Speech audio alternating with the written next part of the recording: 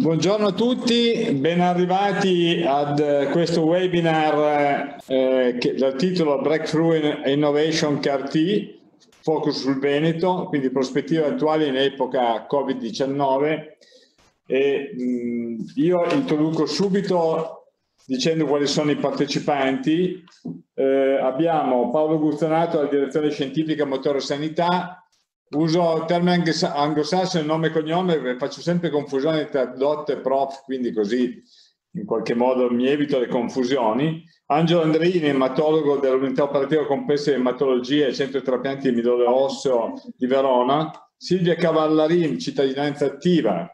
Luciano Flor, che si sta collegando, direttore generale dell'azienda ospedaliera universitaria di Padova. Alessandro Lomeo, direttore miglioramento qualità di adempimenti legge regionale 2002 della, eh, di Verona, Giovanni Pavesi, direttore generale della USL 8 Berica Vicenza, Marco Ruggeri, direttore unità operativa ematologica dell'ospedale San Borto di Vicenza, USL 8 Berica, Livio Trentin, professore associato confermato di malattie del sangue all'Università di Studi di Padova, e Francesca Venturini, direttore della farmacia dell'azienda ospedaliera universitaria di Padova. Le conclusioni e naturalmente gli interventi verranno fatte da Gian Pietro Semenzato, che è direttore della divisione di ematologia dell'azienda universitaria eh, ospedaliera universitaria di Padova, nonché coordinatore tecnico e scientifico della rete ematologica veneta.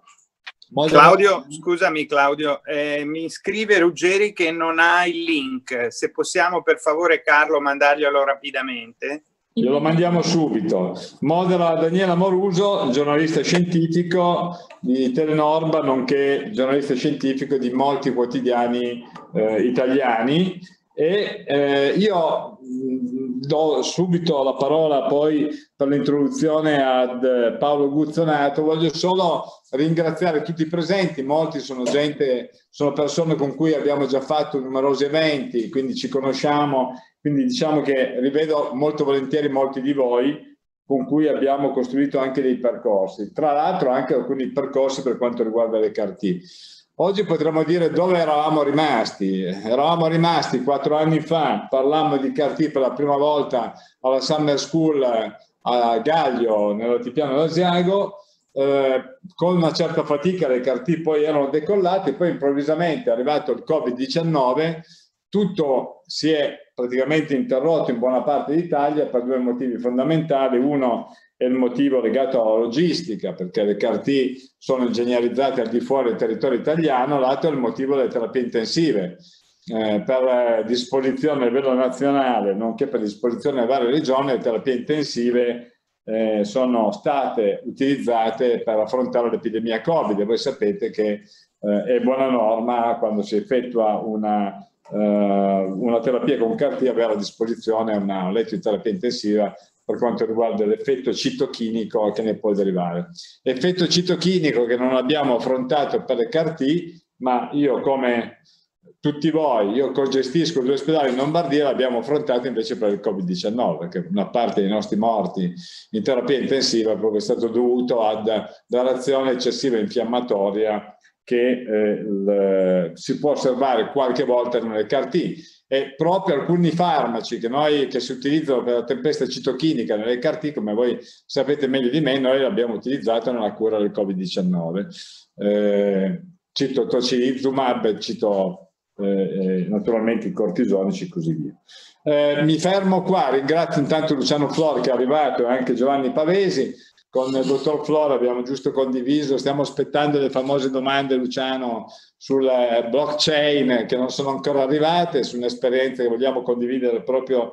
tra l'ospedale di Padova e l'ospedale che dirigo, l'ospedale a Como e do subito la parola a Paolo Guzzonato per l'introduzione ancora grazie di essere qui perché eh, è un onore avervi di nuovo con noi per andare a rivedere qual è la situazione eh, delle carte nell'era post-Covid-19 in Italia. Naturalmente la parola la darà Daniela Moruso come eh, moderatore, giornalista scientifico, io mi taccio, quindi Daniela a te per eh, quello che vuoi dire per, eh, e poi passare la parola per l'introduzione a Paolo Guzzanato. Te Daniele.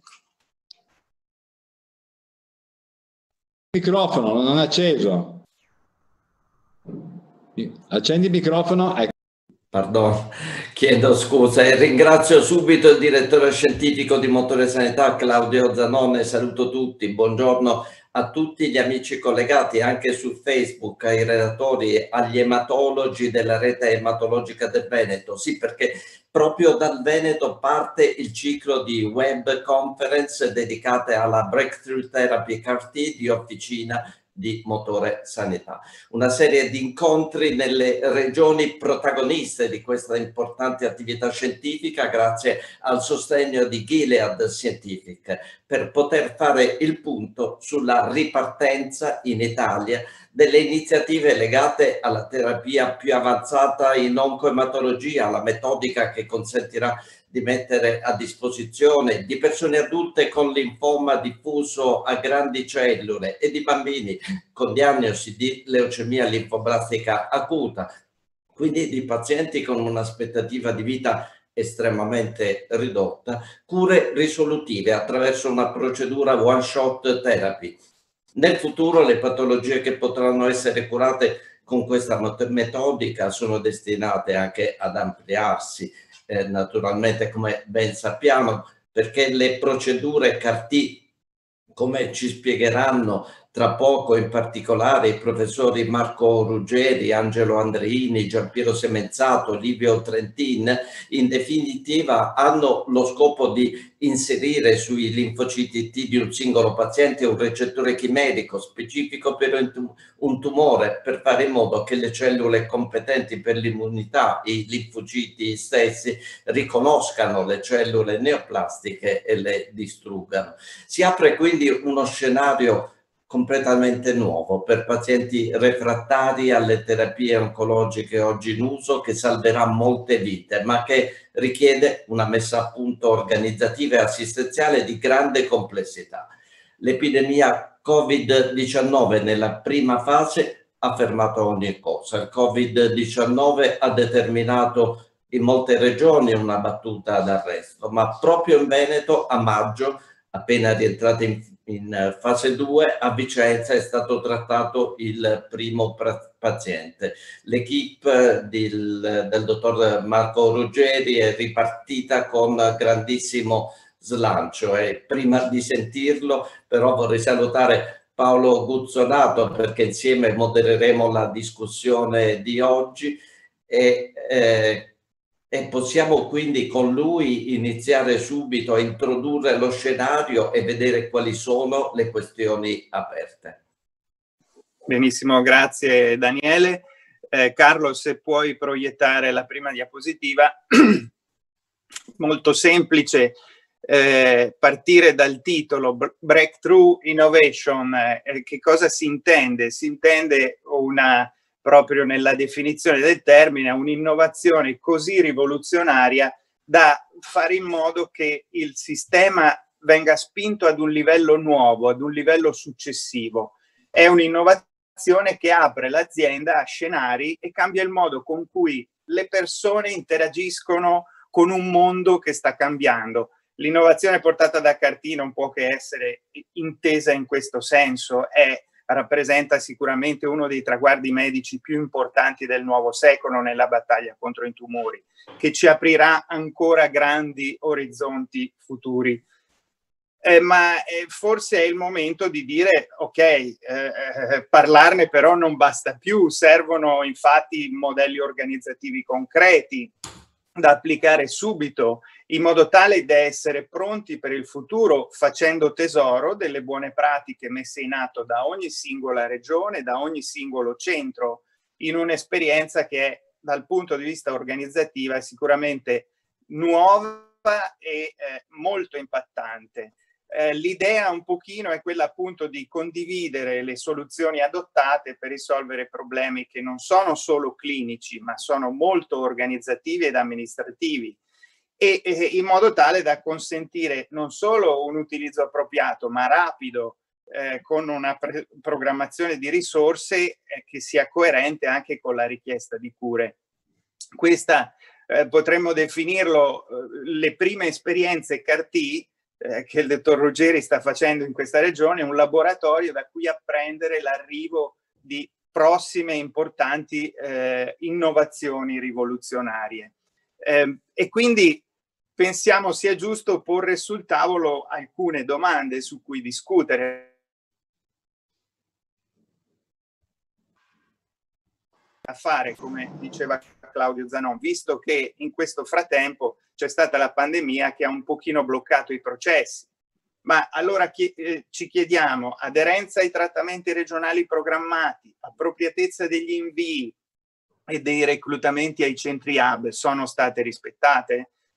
Eh, la capacità di selezione, di arruolamento e trattamento, come si è organizzata all'interno di una rete molto ben strutturata come quella del Veneto? E il Covid come ha impattato in questa fase? Il team working multidisciplinare funziona, ha funzionato, c'è qualcosa ancora da implementare?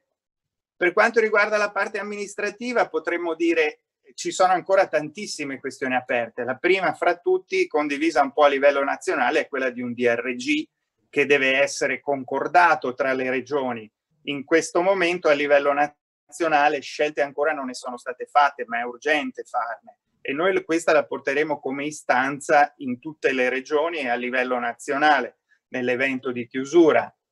La gestione del payment at result è, è stata corretta? Eh, viene tracciato eh, in maniera efficace eh, il flusso? i centri privati accreditati, questo riguarda molto meno certamente la regione Veneto, ma riguarderà altre regioni importanti che con lei sono interconnesse, come ad esempio la Lombardia,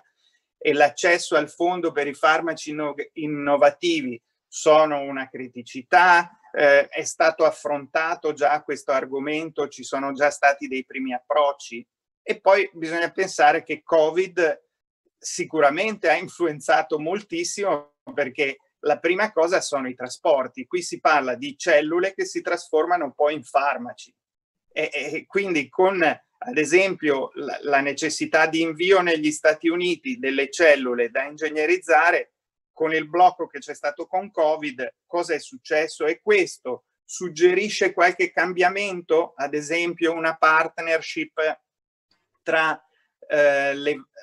le, le aziende private e le cell factory eh, regionali? Eh, ci sono accordi sulla mobilità sanitaria? La programmazione regionale sulla gestione dei budget ha dato dei finanziamenti ad hoc alle aziende? Vi sono state politiche svolte, eh, volte a garantire la sostenibilità? Eh, e qui torniamo con il ragionamento della partnership eh, tra eh, aziende private eh, e eh, self factory regionali.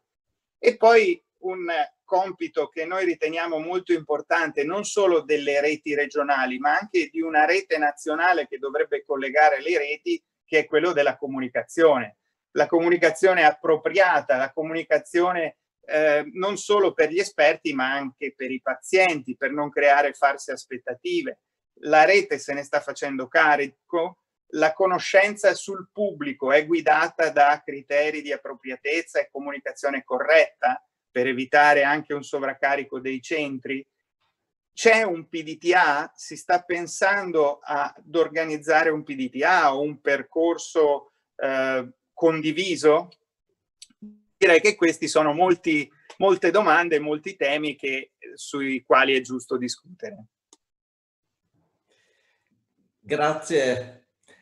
Grazie Paolo. Beh, direi che Paolo Guzzonato ci ha dettato un'agenda davvero molto precisa e ha fissato tutti i paletti, ma ora passiamo ai fatti perché come ha detto Paolo parlarne non basta e allora insieme a Marco Ruggeri, direttore dell'ematologia dell'ospedale San Bortolo di eh, Vicenza. Innanzitutto vorremmo ripercorrere la straordinaria ripartenza a CAR-T con il primo trattamento in un paziente di 68 anni affetto da linfoma, eh, refrattario a quattro linee di terapia. Che è stato dimesso il 27 maggio a 15 giorni dall'infusione dei linfociti ingegnerizzati e amplificati. Ma eh, dottor Ruggeri, a 48 giorni dalle dimissioni, il paziente sta bene? Sì, buongiorno a tutti. Eh, prima di rispondere a questa domanda molto competente e precisa, volevo ringraziare Motore Sanità eh, dottor Zanon, Paolo Guzzonato per averci coinvolto in questo interessantissimo focus che fra l'altro è assolutamente tempestivo considerato le difficoltà che abbiamo dovuto superare per eh, proseguire un programma, il progetto CARTI che ricordo a Vicenza grazie all'interessamento del, del direttore dottor Pavese era partito a gennaio 2019, quindi questo dà l'idea dei tempi necessari per mettere in piedi una procedura così complessa. Saluto anche molto con, con, affetto tutti i miei colleghi ematologi che sono collegati, che,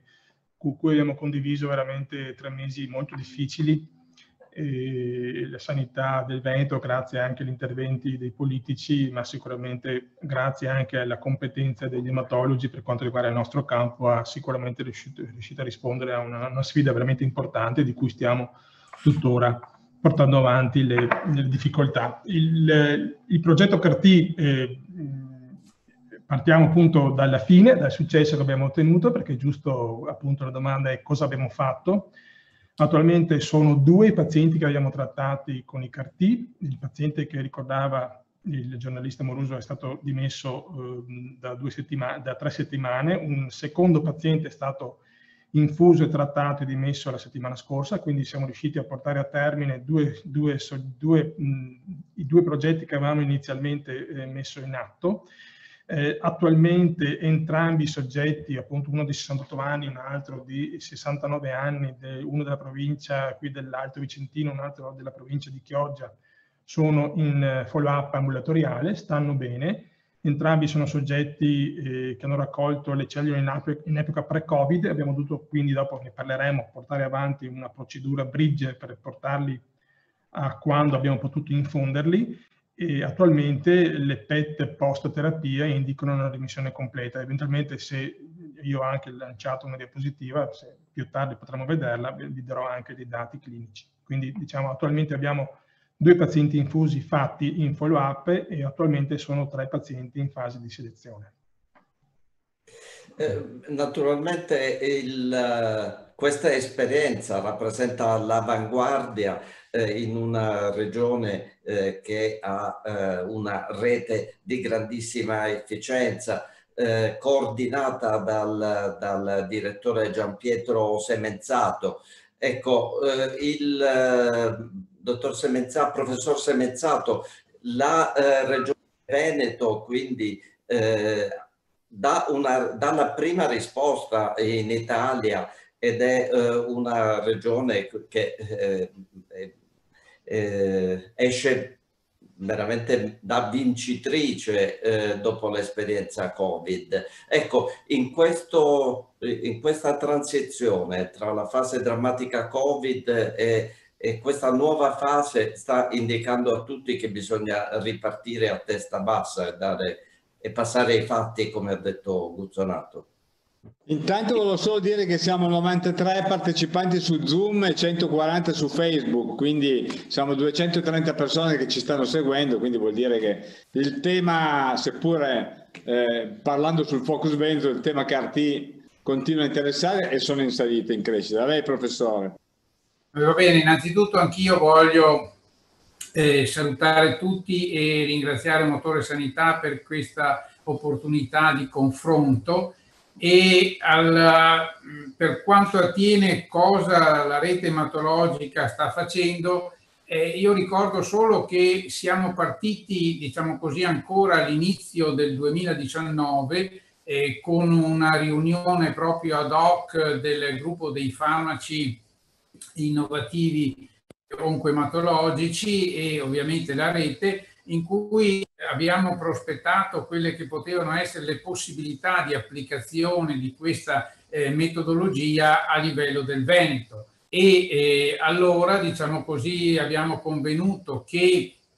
la divisione di ematologia più avanti rispetto alla metodologia per poter eh, applicare queste terapie era in effetti Vicenza. Abbiamo avuto anche un incontro cui ha partecipato il dottor Mantovan che ha eh, diciamo così, sollecitato anche gli altri responsabili delle unità operative, quindi eh, Verona, Padova, Treviso, eh, Mestre, di attrezzarsi perché, come è stato detto in precedenza, il,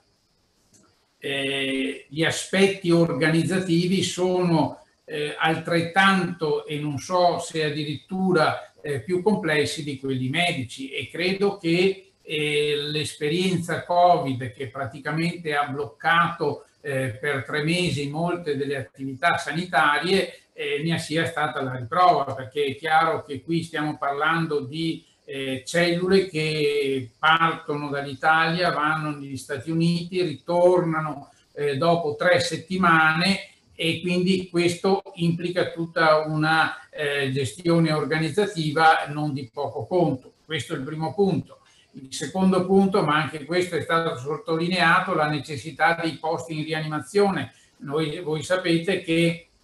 eh, bisogna sempre avere un posto riservato in rianimazione e avere un posto riservato in rianimazione in epoca Covid era praticamente impossibile.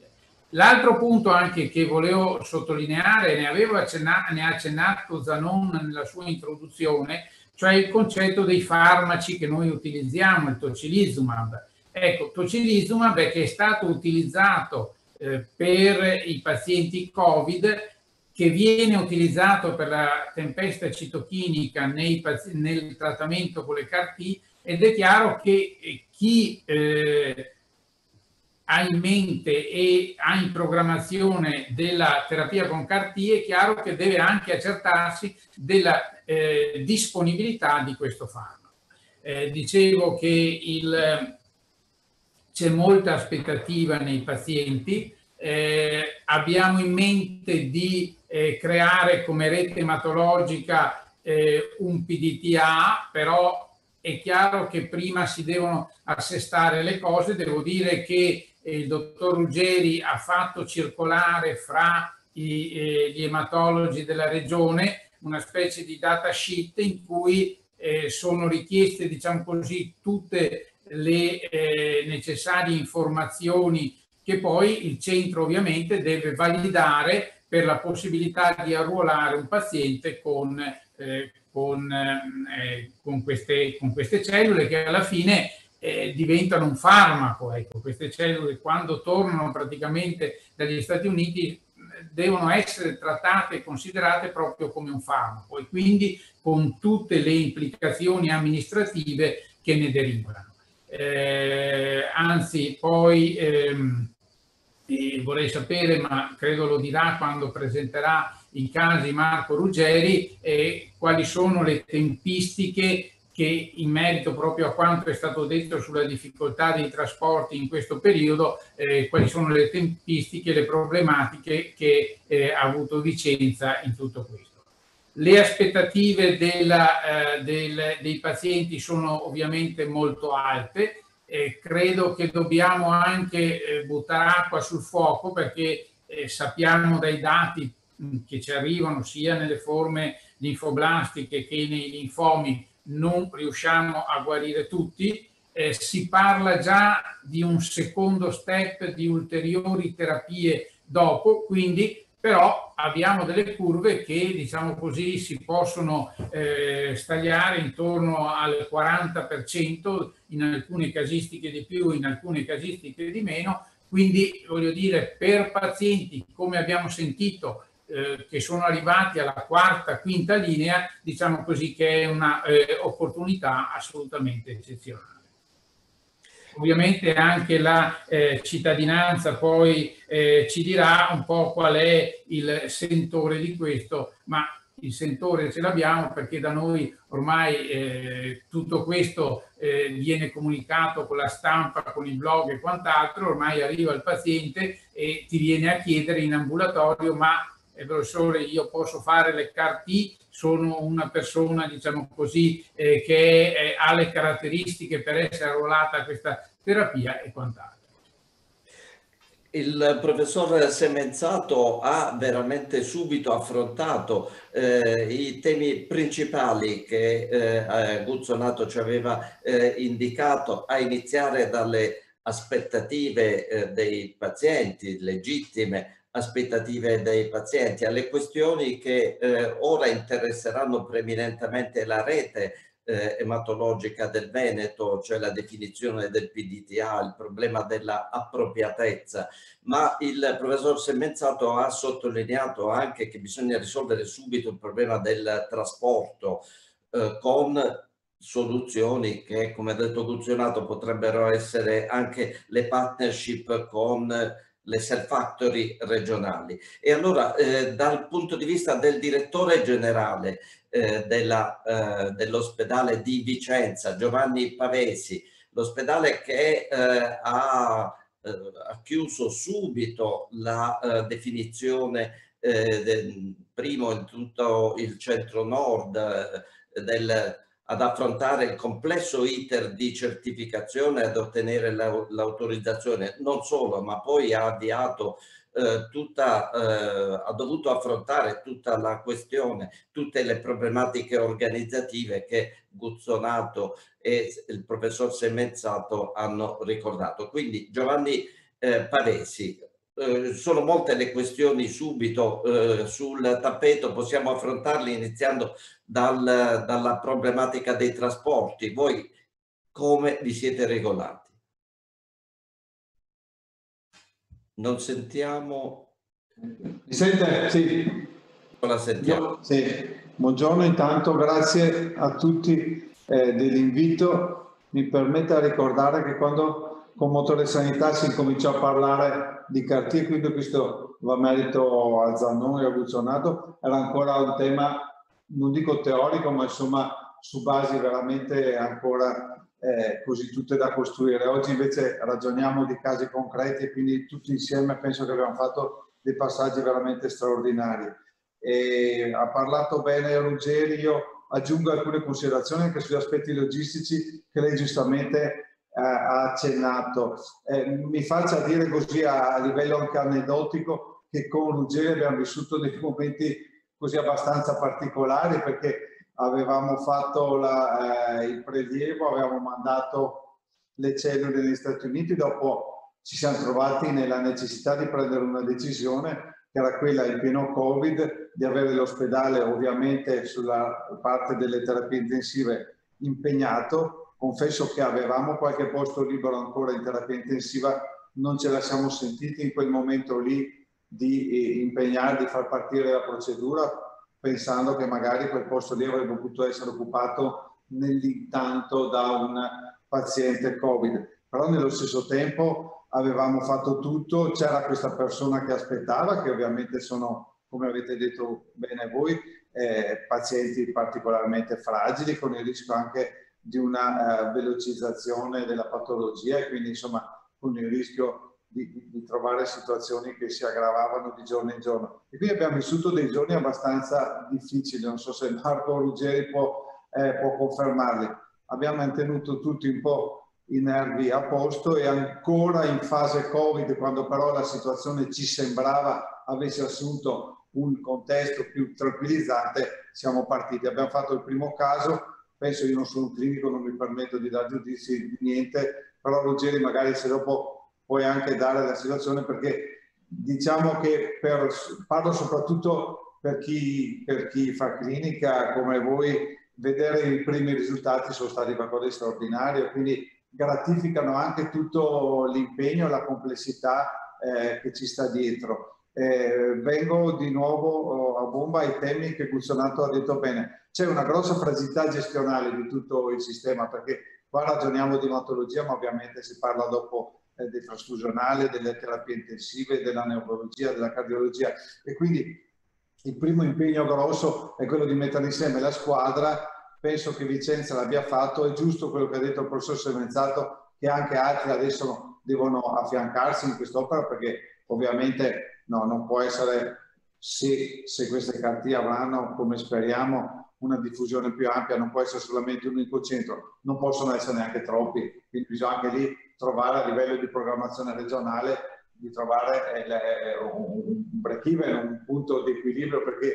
non può bastare solamente la qualificazione JC, che è stato uno dei motivi che ci ha consentito di partire probabilmente più veloci altri, noi eravamo già qualificati. Bisogna capire eh, potenzialità e necessità del, eh, del sistema. Noi abbiamo molto sottolineato il fatto che come azienda abbiamo una self factory autorizzata da poco eh, da AIFA, non tanto perché sia un passaggio decisivo nel fare la, la procedura CARTI, ma secondo noi è un elemento, e introduco l'ultimo ragionamento, che ci può consentire in un futuro di essere ulteriormente attori protagonisti. E mi spiego, la criticità logistica dei trasporti, delle tempistiche in tempo Covid, che potrebbe ripresentarsi in altre situazioni, deve farci pensare ad un ragionamento di sistema, non può essere solamente Vicenza che lo fa,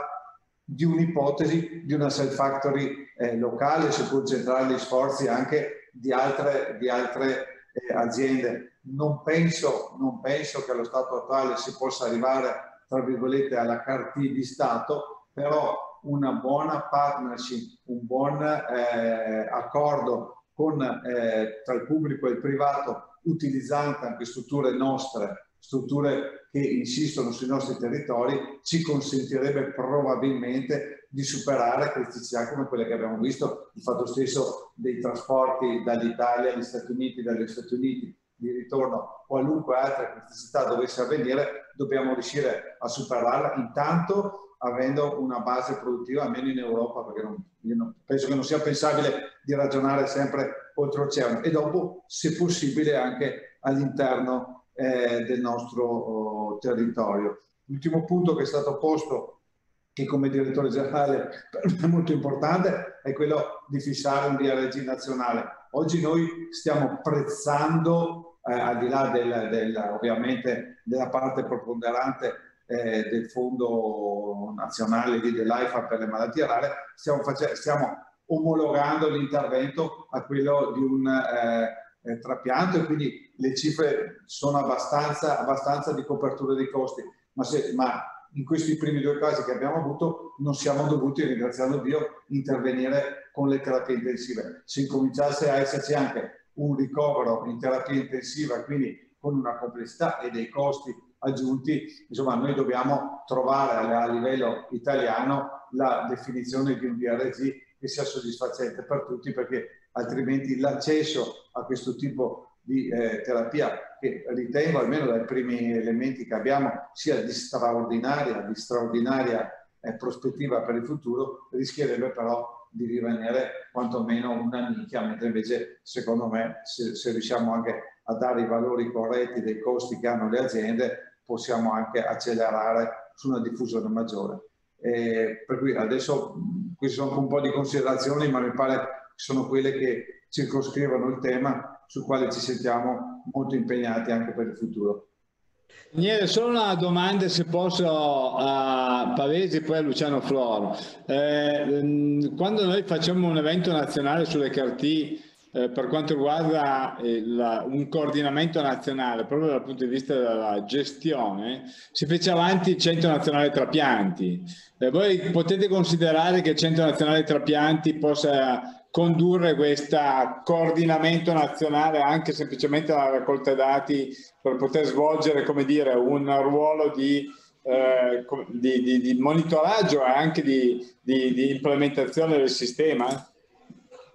Beh, rispondo io, dopo lascio la parola a Luciano. Che... Ma io, io, ritengo di sì che ci voglia sicuramente un ruolo sovraaziendale su cui rapportarsi, per cui adesso che sia il Centro Nazionale Trapianti, che sia un coordinamento a livello specifico, come sta facendo, secondo me bene semmenzato. Cioè, dobbiamo, dobbiamo trovare in ogni caso un punto di sintesi che va oltre la, la singola iniziativa dell'azienda. E può essere che anche attraverso il Centro Nazionale Trapianti si possono anche meglio definire aspetti che non sono di natura clinica ma sono anche di natura amministrativa ma che ci stanno e sono importanti.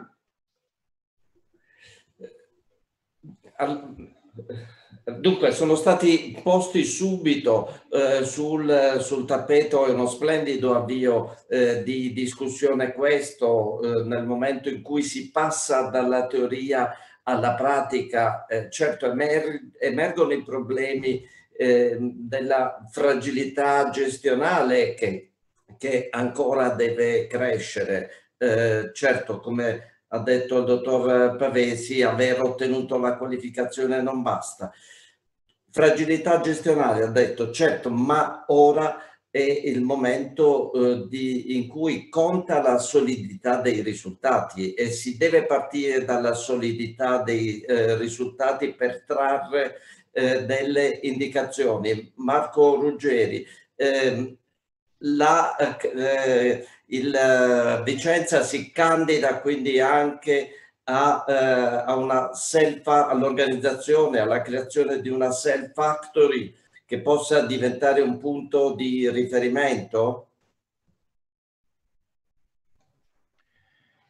Sì, allora qui il discorso ovviamente diventa eh, complesso e sicuramente dovrà riguardare strutture, come diceva il dottor Pavesi, eh, nazionali a livello di coordinamento. Eh, la necessità di, eh, che Covid ha, evidenziato, come diceva giustamente il direttore generale, ha evidenziato un sistema fragile. Il sistema fragile nasce nel punto in cui ci sono moltissimi attori che partecipano e, e non c'è un controllo, eh, diciamo così, univoco sui singoli attori. E quindi eh, de, è come un'orchestra che va, diciamo, mh, abilitata a lavorare assieme. Aggiungo anche che, e questo è un dato forse poco conosciuto, che c'è anche una grande competitività di slot, nel senso che se Italia chiede a una delle due dita che attualmente hanno i prodotti commerciali di produrre un certo numero di cartini, non è detto che dopo tre settimane vengono prodotti, perché la stessa richiesta ha fatto anche Francia, ha fatto Inghilterra, ha fatto Spagna, ha fatto Stati Uniti, quindi il termine di tre settimane che ci viene dato come eh, necessario per l'ingegnerizzazione è un termine sulla carta, di fatto noi i, i nostri due eh, farmaci che abbiamo ricevuto, abbiamo ricevuto dopo sei settimane, perché gli slot è una decisione che ha l'azienda e che spetta a lei, noi non abbiamo diciamo, possibilità di spingere su questo, e quindi ehm, dobbiamo così in qualche maniera eh, intervenire in un processo competitivo di richiesta. Eh, questo fin tanto che eh, le ditte organizzeranno delle self factory abilitate e sufficienti a rispondere alla domanda eh, mondiale di questi nuovi farmaci. E qui entriamo ovviamente in scelte industriali di cui sappiamo poco, però è evidente che loro lo faranno se ci sarà una domanda che, mh, mm, che giustificherà un impegno economico di self-factory. Sicuramente ne stanno impiantando anche in Europa. Eh, l'idea eh, di un processo in parte locale trova, secondo me, ehm, sicuramente motivo da queste considerazioni che dicevo, oltre al fatto che appunto ci possono essere problemi poi molto banali, ma che hanno messo in ginocchio il sistema, come il trasporto, noi ricordo che eh, Trump ha deciso il blocco del trasporto aereo l'11 di marzo e noi abbiamo ricevuto le nostre cellule il 10 marzo, giorno appena in tempo, se no non avremmo potuto per dire la fragilità del sistema. Quindi l'idea di ragionare su una partnership pubblico-privato nell'ipotesi di produrre questi nuovi farmaci a livello locale, secondo me è assolutamente interessante. Era anche un'idea di, di AIFA, tempo addietro, e, e l'Italia sicuramente sta eh, avanzando molto in, questi, in, questo campo, attualmente sono circa 10 self factory abilitate, accreditate da AIFA per produrre alcuni prodotti, ma tutte queste self factory, tra cui Vicenza, hanno delle disponibilità tecnologiche per produrre anche eh, terapia eh, genetica come quello che è CAR-T, che è un'ingegnerizzazione tipo virale. È chiaro che qui dobbiamo ragionare eh, a livello di rete, eh, si deve ragionare a livello di scelte politiche nazionali, eh, però diciamo la tecnologia lo ha reso possibile. Se un anno fa era impossibile pensare di produrre CAR-T a livello accademico locale, se non con grande dispendio di energie e di, di, fondi, attualmente le tecnologie sono rese mh, fattibili eh, ed è diciamo una cosa che può essere messa in, in cantiere è una scelta politica di, di, di, di, spostamento di risorse che va decisa, certo. Eh, sembra significativo che di fronte a una grande sfida della medicina eh, come eh, le CAR-T, ecco, eh, ora i problemi che emergono subito non sono per fortuna problemi assistenziali. Questo grazie alla splendida equip eh, di Vicenza eh, la sfida è stata stravinta. Ora emergono quindi problemi, eh, i problemi organizzativi. Allora, professor Trentin, eh, eh, certo Vicenza sta aggregando l'intero sistema eh, Veneto. Ecco, ora è il sistema Veneto, è la rete che deve affrontare questi problemi organizzativi e lei crede nella possibilità, eh, come ha, ehm, ha, detto Claudio Zanon, di poter eh, ritrovare il modello che era stato creato per la rete trapianti, per un'organizzazione eh, che sappia intervenire rapidamente? Allora, eh, sì, no, volevo fare un attimo una precisazione, per cui attualmente le company che forniscono questo tipo di eh, preparati, quindi le, queste cellule ingegnerizzate, si stanno muovendo in Europa e tale per cui una di queste è già operativa ad Amsterdam con un laboratorio e penso che l'Italia potrebbe entrare nell'ambito degli stati che possono richiedere per quanto di informazioni che ho avuto circa 5 minuti fa, penso nel prossimo agosto. Ecco, questo come possibilità. Pertanto vuol dire che questo bypasserebbe un pochino anche tutto quello che è il percorso per ottenere le cellule e il prodotto, chiaramente molto più semplice, quindi che non fare voli transoceanici, come pure mandare le cellule quindi direttamente quindi in, in California, quindi per fare l'espansione e l'infezione.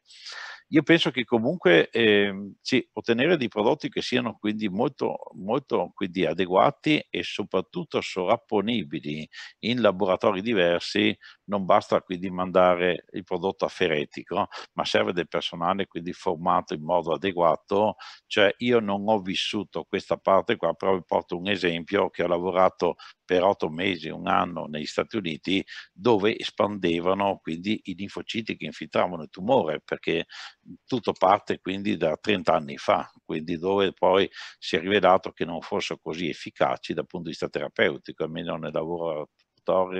dell'Harvard eh, di Boston e, e, e, qui in quel momento lì quindi chiaramente servono dei laboratori, sono attrezzati quindi con dei contenitori e tutta una serie quindi delle uh, procedure che devono essere per la buona pratica. E penso che sicuramente il Veneto si deve muovere perché come diceva prima Ruggeri che saluto perché io mi sento in parte un pochino vicentino perché ho passato cinque anni a Vicenza dove quindi da matologo sono diventato ematologo, va bene, in senso quindi lasciatemi la definizione. E, e penso quindi come diceva quindi Ruggeri bisognerà quindi che ci sia probabilmente più strutture nel Veneto questo richiede quindi che noi ci dobbiamo muovere con accreditamento ed è quello che stiamo cercando di fare a Padova per l'accreditamento GESCI per la parte trapiantologica perché chiaramente eh, c'è chi ci dà questo prodotto richiede che siano rispettati tutta una serie quindi di interazioni anche dal punto di vista proprio medico con tutta una serie di strutture che quindi è rianimatore ma è neurologo, tutta una serie di figure che sono importanti nella gestione perché finché le cose vanno bene è tutto positivo, ma quando comincia a esserci qualche problema teniamo presente quindi sono delle terapie cellulari che poi se volete vediamo un attimo sulle applicazioni un po' di effetti collaterali, ci, ci possono essere degli effetti quindi di una certa importanza, pertanto immagino quindi che il lavoro di Ruggeri di questi ultimi anni, due a tre anni, sia stato dedicato prevalentemente a questo, a mettere in moto e in formazione un'equipe di personale adeguato quindi per la gestione. E io penso che comunque identificare quindi almeno, eh, almeno cioè, più centri in, nel Veneto, considerando i numeri dei pazienti che hanno le malattie che potrebbero beneficiare dei CAR-T, sia quindi importante, però queste sono anche decisioni politiche, soprattutto come diceva già Ruggeri. poi il discorso se riusciamo a avere una factory qui comoda che riesce a darci il prodotto finito, tanto meglio perché allora diventa molto più semplice quindi che non far viaggiare questi materiali per tutta Europa oppure oltreoceano. Ok. Quindi stimolare la crescita e l'organizzazione di nuovi centri, affrontare il sistema delle regole e il problema della rete, problema eh, direi della rete eh, ematologica del Veneto, professor Semezzato. Sì, allora guardate, io volevo riprendere un paio di punti eh, che aveva giustamente sottolineato Giovanni Pavesi, cioè eh, chi deve regolare chi deve regolare queste attribuzioni? Cioè è eh, il, e anche Zanon aveva posto il problema, cioè è, è il eh, centro trapianti che deve fare questo. Fino adesso vi ricordo che l'ha fatto l'AIFA, cioè perché l'AIFA a un certo punto eh, all'inizio di questa avventura ha mandato una paginetta in cui c'erano le caratteristiche eh, erano documentate le caratteristiche che un centro doveva avere e fra queste caratteristiche c'era la possibilità di eh, la necessità prerequisito che il centro avesse l'autorizzazione per il trapianto allogenico. Ecco il motivo per cui eh, attualmente praticamente solo Vicenza ha questa possibilità di fare le CAR-T. Però io vi ricordo che in Europa ci sono almeno otto centri che eseguono le CAR-T senza avere l'autorizzazione la, eh, per l'alogenico, cioè hanno solo l'autorizzazione per l'autologo, come hanno per esempio tutte le ematologie del Veneto. Allora anche qui eh, io credo che dovrebbe essere fatta nell'ottica di una, eh, non dico assolutamente di eh, parcell parcellizzare questo, eh, questa metodologia, ma eh, perlomeno nel Veneto di aumentare eh, i centri dove può essere fatta perché indubbiamente io credo che eh, Vicenza non sarà assolutamente in grado di eh, sopportare tutte le richieste che verranno dal Veneto e quindi eh, si dovrà rivolgersi anche ad altre regioni. Il discorso eh, per tornare a chi deve eh, diciamo così, essere il supervisor di tutto questo, io credo che più che l'AIFA, che più che altro dovrà determinare i costi, gli RG e quant'altro, dovrebbe essere il Centro Nazionale Trapianti che si fa carico di individuare i vari centri, anche se dopo, ripeto, eh, la parola finale ce l'hanno le ditte, perché chi decide eh, se una, un ospedale deve farlo piuttosto che non farlo sono eh, le ditte che poi forniscono il farmaco, chiamiamolo così, ed è l'ultimo step perché la fase finale è la site visit della ditta che poi dà il farmaco. Ecco, quindi credo che questo sia molto importante e ritorno sul punto che dal punto di vista eh, medico-assistenziale non ci sono grossissimi problemi, perché ripeto, eh, qualsiasi ematologia dei centri hub del Veneto potrebbe farlo, il problema è, diciamo così, il fatto che eh, ci deve essere un'organizzazione che prevede, e l'abbiamo già detto, il rianimatore, il neurologo eh, e quant'altro, il gastroenterologo e così via, e credo che dei colossi sanitari come Padova e Verona sicuramente non hanno problemi, come ha fatto Vicenza, ad allestire un team di questo tipo. Quindi il, il, Veneto ha subito il problema eh, della crescita dei centri eh, che eh, possano quindi altre ematologie accreditarsi e non lasciare sola l'equipe di Marco Ruggeri. Allora vogliamo sentire il direttore generale di Padova, Luciano Flore, poi Alessandro eh, Lomeo per comprendere come Padova e Verona possano eh, poi eh, subito partecipare da protagonisti a questa avventura. Luciano Flor, direttore, buongiorno. Grazie, grazie, buongiorno a tutti voi e grazie anche dell'invito eh, dove si impara anche, non solo si rappresentano le proprie situazioni e opinioni, ma sentendo un po' quello che in questi giorni, in questi mesi si è fatto su questo tema, tutti credo eh, abbiamo qualcosa da imparare. Io di sicuro. Io riprenderei eh, due spunti per eh, pensare per il futuro. Allora, il punto primo è questa terapia si sta consolidando,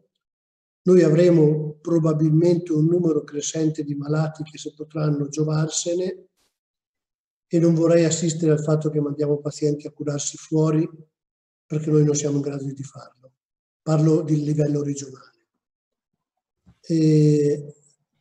se la terapia è efficace e i nostri specialisti ritengono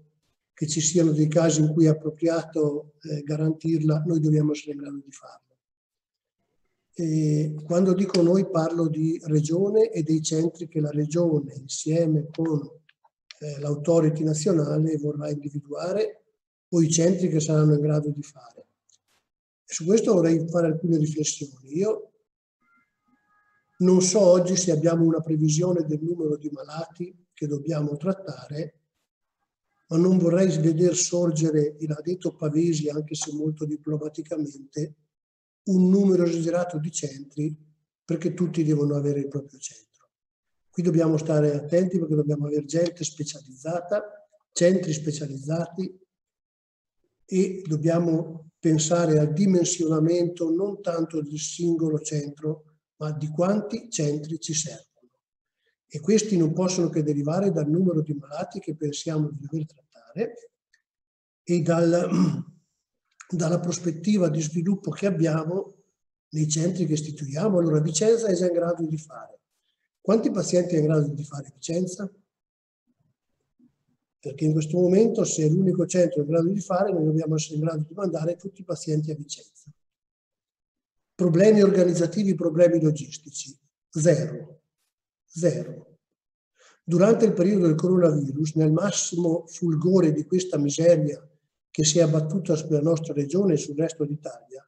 Padova non ha rinunciato nemmeno a un trapianto. Nessun trapianto è saltato per il coronavirus. Siamo andati a prenderci organi in Italia e all'estero. Abbiamo organizzato l'attività, ci sono numerose unità operative, c'è la rianimazione. Allora si tratta di dare all'attività che, di cura dei tumori con, con il CAR-T lo stesso rango che hanno i trapianti d'organo, né più né meno. È una terapia salvavita alla quale non intendiamo rinunciare e dobbiamo organizzarci per farlo. Dio non voglia che siano problemi organizzativi quelli che ci bloccano questa cosa, non esiste. Allora, qualunque cosa ma così come chiamiamo l'aeronautica o chiamiamo la ditta privata con l'aereo per andare a fare un prelievo, eh, siamo in grado di organizzarci in qualunque modo anche per garantire eh, questa grossa innovazione come l'ha presentata il nostro Nato. Ognuno faccia il suo mestiere. Il servizio sanitario non è l'industria farmaceutica. Io su questo vorrei un ragionamento con i clinici. Noi non dobbiamo pensare di farci le nostre self factory e di autonomizzarci perché ci facciamo tutto in casa. E allora serve una capacità di interazione con l'industria, col privato, con chi che sia, ma noi non dobbiamo specializzarci a fare cose su cui è già specialista qualcun altro. Io la vedo da questo, se è una novità che viene e non sarà probabilmente l'ultima, prendiamola come tale e innoviamo anche dal punto di vista organizzativo. Poi vedremo se a un certo punto comprare diventa impossibile, eh, dovremmo fare. Ma oggi eh, noi credo dobbiamo essere bravi a fare il servizio sanitario, a fare i clinici e a interagire correttamente con l'industria che si è specializzata su questo tema. Eh, noi non dobbiamo pensare che il nostro compito sia, lo ribadisco, noi non vogliamo sostituirci all'industria. Un rapporto chiaro, corretto, che sia sostenibile anche dal punto organizzativo equivoco.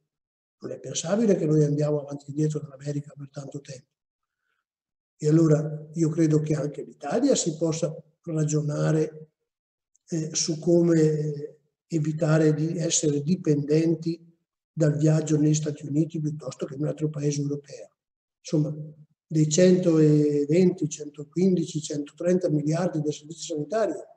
una quota la potremo derivare a de, de, dedicare a questo modello organizzativo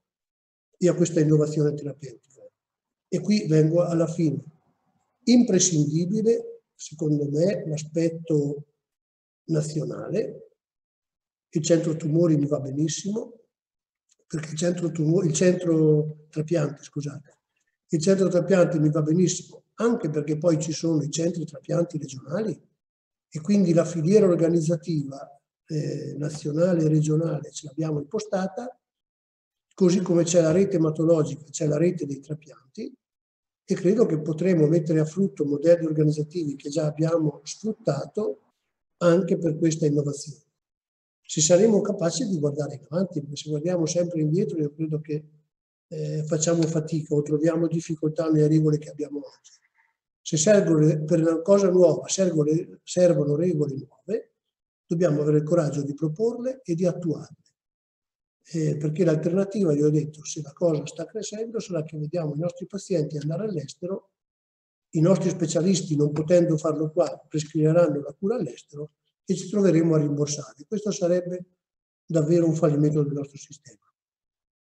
Quindi il Veneto è chiamato però ora a dare una risposta eh, una risposta a questa eh, domanda crescente, alle, eh, alla, alle grandi aspettative, non solo alle grandi aspettative dei pazienti, ma alle reali eh, richieste eh, che si moltiplicheranno. Questo è facile però immaginarlo. Già ora eh, Vicenza ha una lista d'attesa di 25 eh, pazienti. E che cosa avverrà quando le indicazioni eh, alla, alle cartisi amplieranno magari al mieloma. Quindi bisogna eh, organizzare una rete ancora più vasta, più forte e allora Alessandro eh, Leomeo che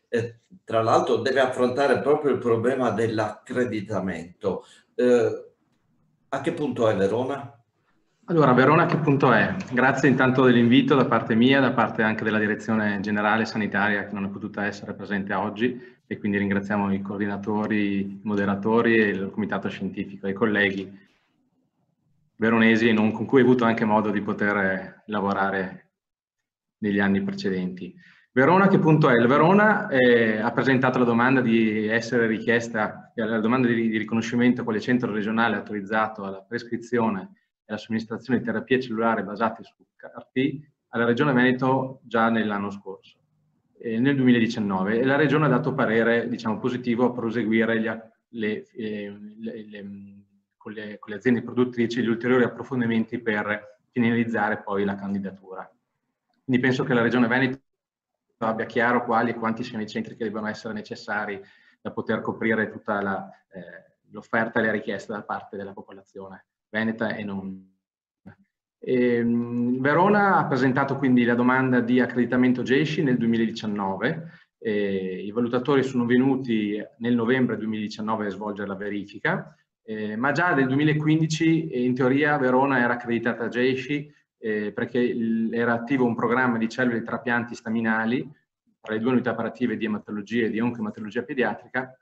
e quindi si era attivato già un percorso nel 2015. Poi con la modifica anche degli accordi Stato-Regione, della normativa e, e l'aggiornamento degli standard GESI, si è dovuta ripresentare una nuova domanda in quanto era ritenuto eh, fondamentale fare la domanda in maniera congiunta, quindi che il programma trapianti di cellule staminali coinvolgesse non solo le unità operative di tipo clinico, quindi l'ematologia e l'oncomatologia pediatrica, ma anche la medicina trasfusionale. E quindi si è ripresentata la domanda, sono venuti i valutatori a novembre del 2019, eh, valutatori ispettori JC, che la caratteristica principale è quella comunque di non essere eh, valutatori sistemisti, quindi io sono un medico igienista, non sono uno specialista in ematologia e medicina interna, però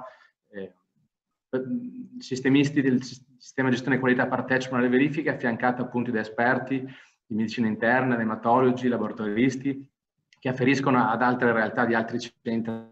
eh, italiani e, e quindi diciamo, c'è una condivisione durante anche il percorso di eh, certificazione, sia prima sia durante che post le verifiche. La verifica è stata fatta quindi a novembre sia da valutatori del eh, JC a cui sono affiancati i eh, ispettori del CNT e del CNS, in quanto questi ultimi hanno avuto il compito di valutare il centro trapianti dal punto di vista dell'aderenza alle normative eh, in materia di trapianto e di utilizzo di cellule staminali. In quanto non solo la normativa che richiede di essere riconosciuto centro CAR-T, bisogna fare riferimento all'accreditamento GESI, ma bisogna anche eh, adottare gli standard e fare riferimento alla normativa eh, da un punto di vista diciamo, della, eh, dei tessuti e la normativa eh, sugli emocomponenti. E quindi i, i valutatori GESI sono stati affiancati dal, eh, dagli ispettori del CNT e del, del Centro Nazionale Sangue. Eh, abbiamo ricevuto il rapporto inizialmente da parte del CNT e del CNS a febbraio di quest'anno e a giugno di quest'anno il rapporto da parte del GESI. Adesso dovremo completare eh, la risoluzione di alcune osservazioni, gli spunti di miglioramento che ci hanno dato entro settembre per poi ripresentare formale richiesta in regione di essere riconosciuto come centro regionale. A Verona è presente, diciamo, fin dal 1986 un programma di trapianti di cellule staminali che coinvolge le due unità operative di oncologia e di ematologia e di recentemente è stato istituzionalizzato un gruppo interdisciplinare appunto per affrontare al meglio eh, in maniera appunto un approccio multidisciplinare eh, questa tipologia di, di, di, pazienti, questa tipologia di modalità con cui appunto trattare eh, attraverso le cellule CAR-T e quindi è presente un gruppo multidisciplinare coordinato dal professor Camparera, il direttore dell'unità operativa di ematologia, a cui si affiancano il direttore delle, e i colleghi, i collaboratori dell'oncomatologia pediatrica per quanto riguarda appunto le due unità operative destinate alla selezione del trattamento e al follow-up dei pazienti. A queste si affiancano le unità operative di medicina trasfusionale, in cui sono coinvolti diciamo, tutto il personale che afferisce all'unità di raccolta di processazione cellulare, all'unità di aferesi, per quanto riguarda appunto la eh, procedura e la raccolta dei linfociti atologhi, destinati poi alla preparazione delle cellule CAR-T, e non da ultimo appunto per quanto riguarda tutta la gestione delle complicanze che possono subentrare successivamente all'utilizzo di queste cellule CAR-T, una, una, rete anche di eh, neurologi, radiologi, eh, anestesisti, eh, pediatri a indirizzo critico, quindi la parte di terapia intensiva pediatrica, che gestiscono poi tutta la parte relativa alle complicanze di tipo neurologico o dovute alla cascata eh, delle citochine. Eh, siamo quindi al punto di uh, avere l'accreditamento GESI, di chiudere con l'accreditamento GESI e di provvedere alla ulteriore richiesta di conferma di riconoscimento da parte della Regione. Quindi Verona fino al traguardo, allora rimarrei a Verona per sentire il dottor Andreini che è ematologo eh, dell'ematologia centro trapianti. Ecco, eh, quindi la candidatura di Verona ora concretizzando. E, eh, una delle questioni aperte che ha posto Guzzonato all'inizio è quella del, della appropriatezza delle richieste e l'appropriatezza degli eh, interventi eh, lei è un medico trapiantologo eh, di Verona. Eh, ecco, quando le indicazioni ehm, shiftano da una metodica alla, alla, alla richiesta di CART. Buongiorno a tutti, ringrazio gli organizzatori per l'invito e i colleghi eh, online presenti. Chiedo alla regia se può mandare gentilmente l'unica slide che ho, che ho inviato. Esatto. Il mio compito era quello di presentare quelle che sono le indicazioni sostanzialmente trapiantologiche alla terapia da parte di pazienti affetti da linfoma non Hodgkin e in particolare linfoma non Hodgkin via grandi cellule che in accordo con la WHO eh, rappresenta circa un terzo da solo di tutti i linfomi non Hodgkin. Linfoma Hodgkin è una malattia che, come i colleghi ematologi sanno, eh, viene trattato inizialmente non con un approccio trapiantologico e quindi tantomeno con le CAR-T, ma con una semplice terapia eh, immunochemioterapia che prevede l'impiego di un anticorpo monoclonale quale rituximab associato a una chemoterapia che preveda eh, l'utilizzo dell'antraciclina, solitamente in numero di sei cicli, è associato meno alla radioterapia e da sola è in grado di eh, portare a risultati notevoli, soprattutto se i pazienti presentano fattori di rischio favorevoli, in particolare l'IPI, se l'IPI è basso, la capacità di guarigione di questo ciclo di terapia è prossima circa al 90%, tuttavia questa percentuale crolla intorno al 50-60% qualora l'IPI, cioè appunto i fattori prognostici, siano sfavorevoli. È appunto a questa grossa fetta di pazienti che eh, deve essere destinato un approccio terapeutico più intensivo che in prima istanza è il trapianto utologo, in passato eh, studi, gruppi di studi italiani ma anche stranieri, quali francesi e tedeschi, hanno provato ad anticipare alla prima linea quello che è il ruolo del trapianto utologo, eh, provando, anticipando appunto il trapianto utologo alla prima linea per vedere se riuscivano a migliorare questo 50-60% dei pazienti di alto rischio. Tuttavia questo approccio terapeutico eh, si è rivelato fallimentare nel senso che eh, anche se il trapianto utologo sembrava concedere un miglior controllo rispetto alla chemioterapia convenzionale, tuttavia questo non si traduceva in un miglioramento della sopravvivenza globale. Pertanto il trapianto utologo eh, ancora oggi riveste un ruolo cardine nella terapia di eh, seconda linea, eh, appunto rappresentando in questo contesto il gold standard della terapia eh, di seconda linea, eh, prevedendo appunto nei pazienti che abbiano una malattia resistente o eh, ricaduta, eh, l'utilizzo di farmaci comprendenti il platino, quindi chemioterapia sostanzialmente DHP o similari, che abbiano attività anti-linfoma e la capacità di mobilizzare le cellule per poter poi dopo effettuare un, secondo un trapianto utologo che nella grande maggioranza dei casi di centri a meno IBMT si basa su un regime di condizionamento che prevede di solito lo schema tipo BIM. In questo contesto l'autotrapianto si è rivelato in grado di salvare circa o quantomeno di recuperare circa la metà di quei pazienti che hanno fallito la prima linea di terapia, quindi un 40-50% dei pazienti che hanno fallito la prima terapia, la terapia di prima linea, scusate, viene recuperata dal trapianto utologo.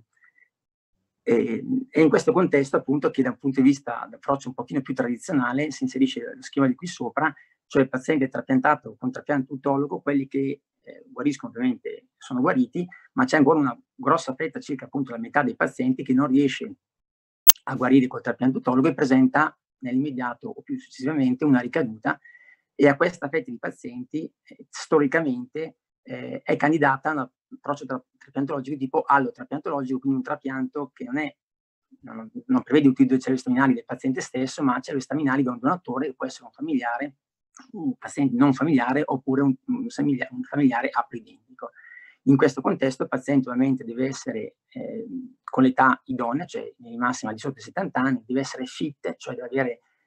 un, un performance status adeguato per poter fare un trapianto, deve avere un donatore ovviamente compatibile e soprattutto deve avere una malattia che sia almeno parzialmente chemosensibile, cioè non si può andare al trapianto alogenico un paziente che ha una malattia che è completamente fuori controllo, ma deve essere almeno parzialmente eh, sensibile a trattamenti chemoterapici. In questo contesto, mh, diciamo, questo approccio storico, diciamo, alla terapia trapiantologica per l'infoma logica delle cellule, mi piace considerare la parte sinistra de della slide, una, che considero un approccio un pochino più moderno, cioè eh, pazienti che abbiano eh, fallito diciamo, una prima linea di terapia e che presentino una, rischi sostanzialmente bassi per quanto riguarda il fallimento o un trapianto utologo, cioè una ricaduta di malattia tardiva, quindi per tardiva si intende a, oltre i 12 mesi dall'esecuzione della prima linea di terapia, è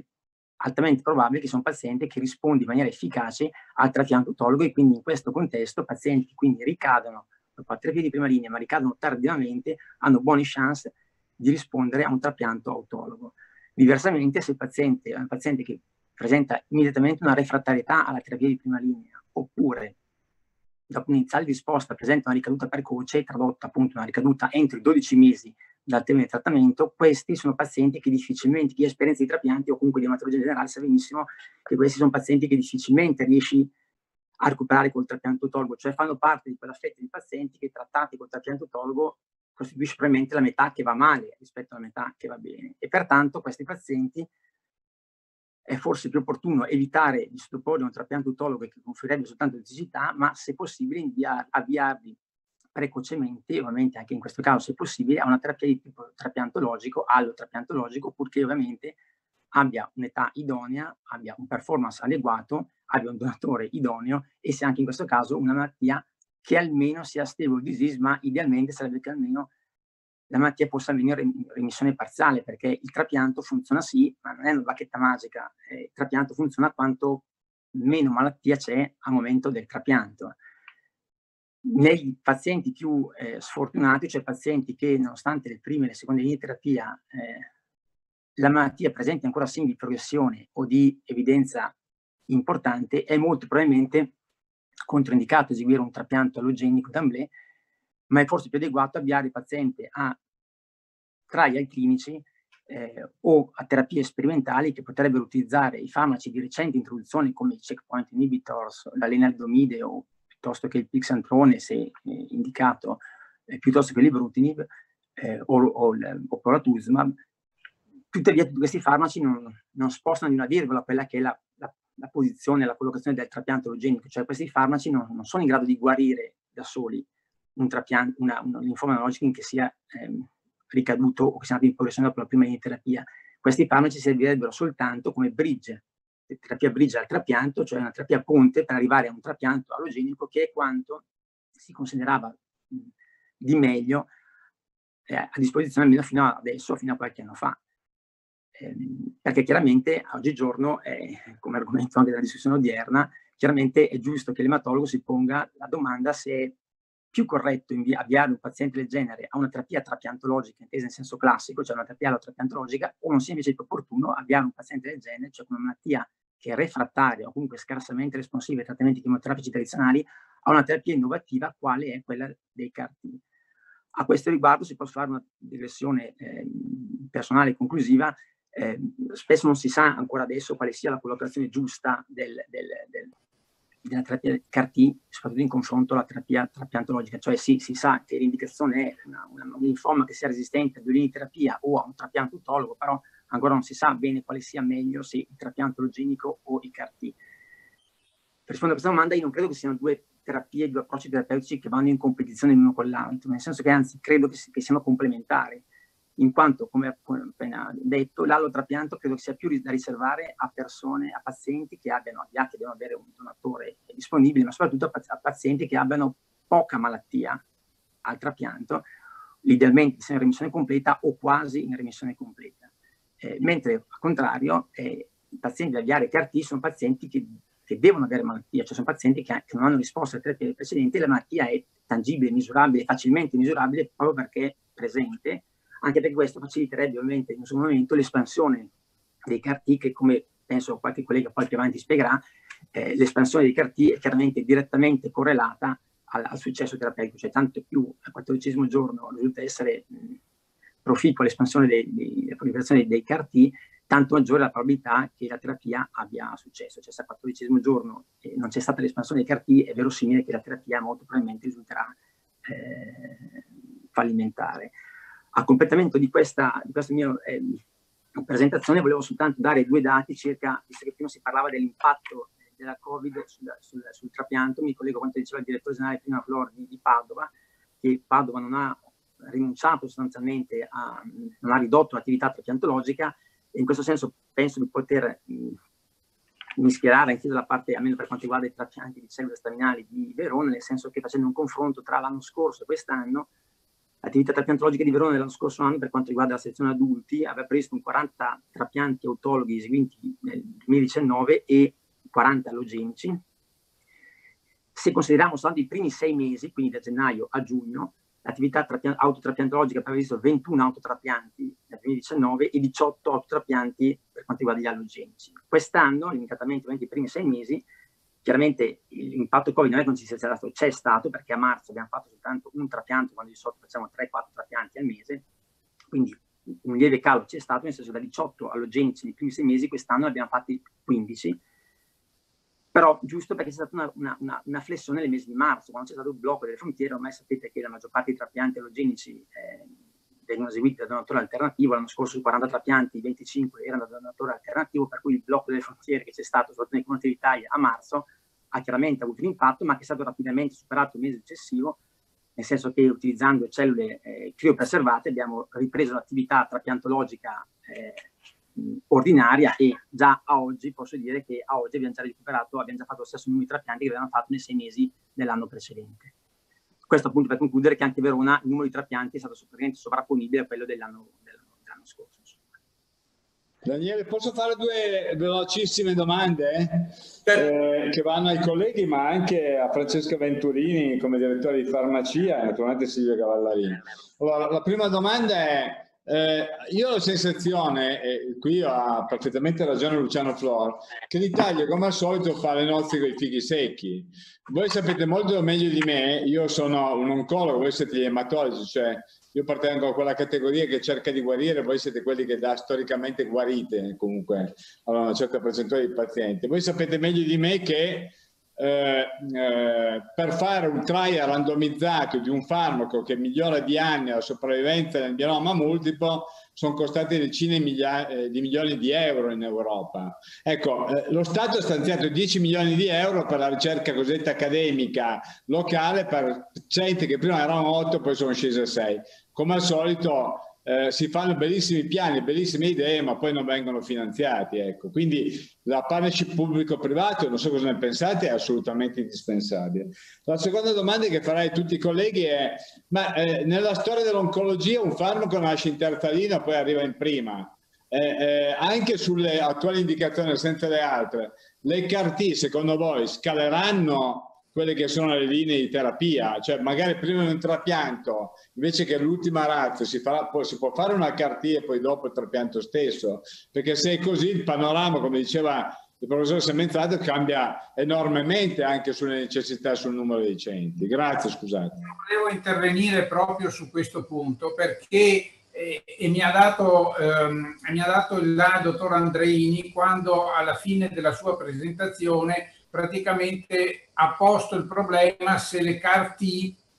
possono far precedere il trapianto allogenico o diventare una terapia, diciamo così, non l'ultima spiaggia. Eh, purtroppo le terapie sperimentali, anche per ehm, disposizioni di tipo regolatorio, vanno provate in quei pazienti che hanno già terminato tutte le linee possibili attualmente in corso. Questo ovviamente c'è anche per le CAR-T, eh, c'è un, una salvaguardia nel senso che un paziente per eseguire le CAR-T non deve aver fatto più di 5 terapie, cioè non deve essere in articolo mortis. Eh, bisogna però, eh, diciamo così, eh, cercare di vedere più lontano e come eh, diceva Claudio Zanon adesso, le CAR-T si sta cercando di anticipare sempre le linee di terapia perché probabilmente ovviamente con una selezione adeguata dei pazienti, perché questo è fondamentale, ma si cercherà di far eh, precedere le linee di terapia in modo da avere anche pazienti che possono fornire cellule che poi vengono ingenerizzate, che non siano ormai esauste, diciamo così. E quindi eh, ci sarà sicuramente nei prossimi anni una maggior selezione di pazienti devono esserci delle chiare linee guida che ci permettano però di anticipare questo tipo di terapia. E,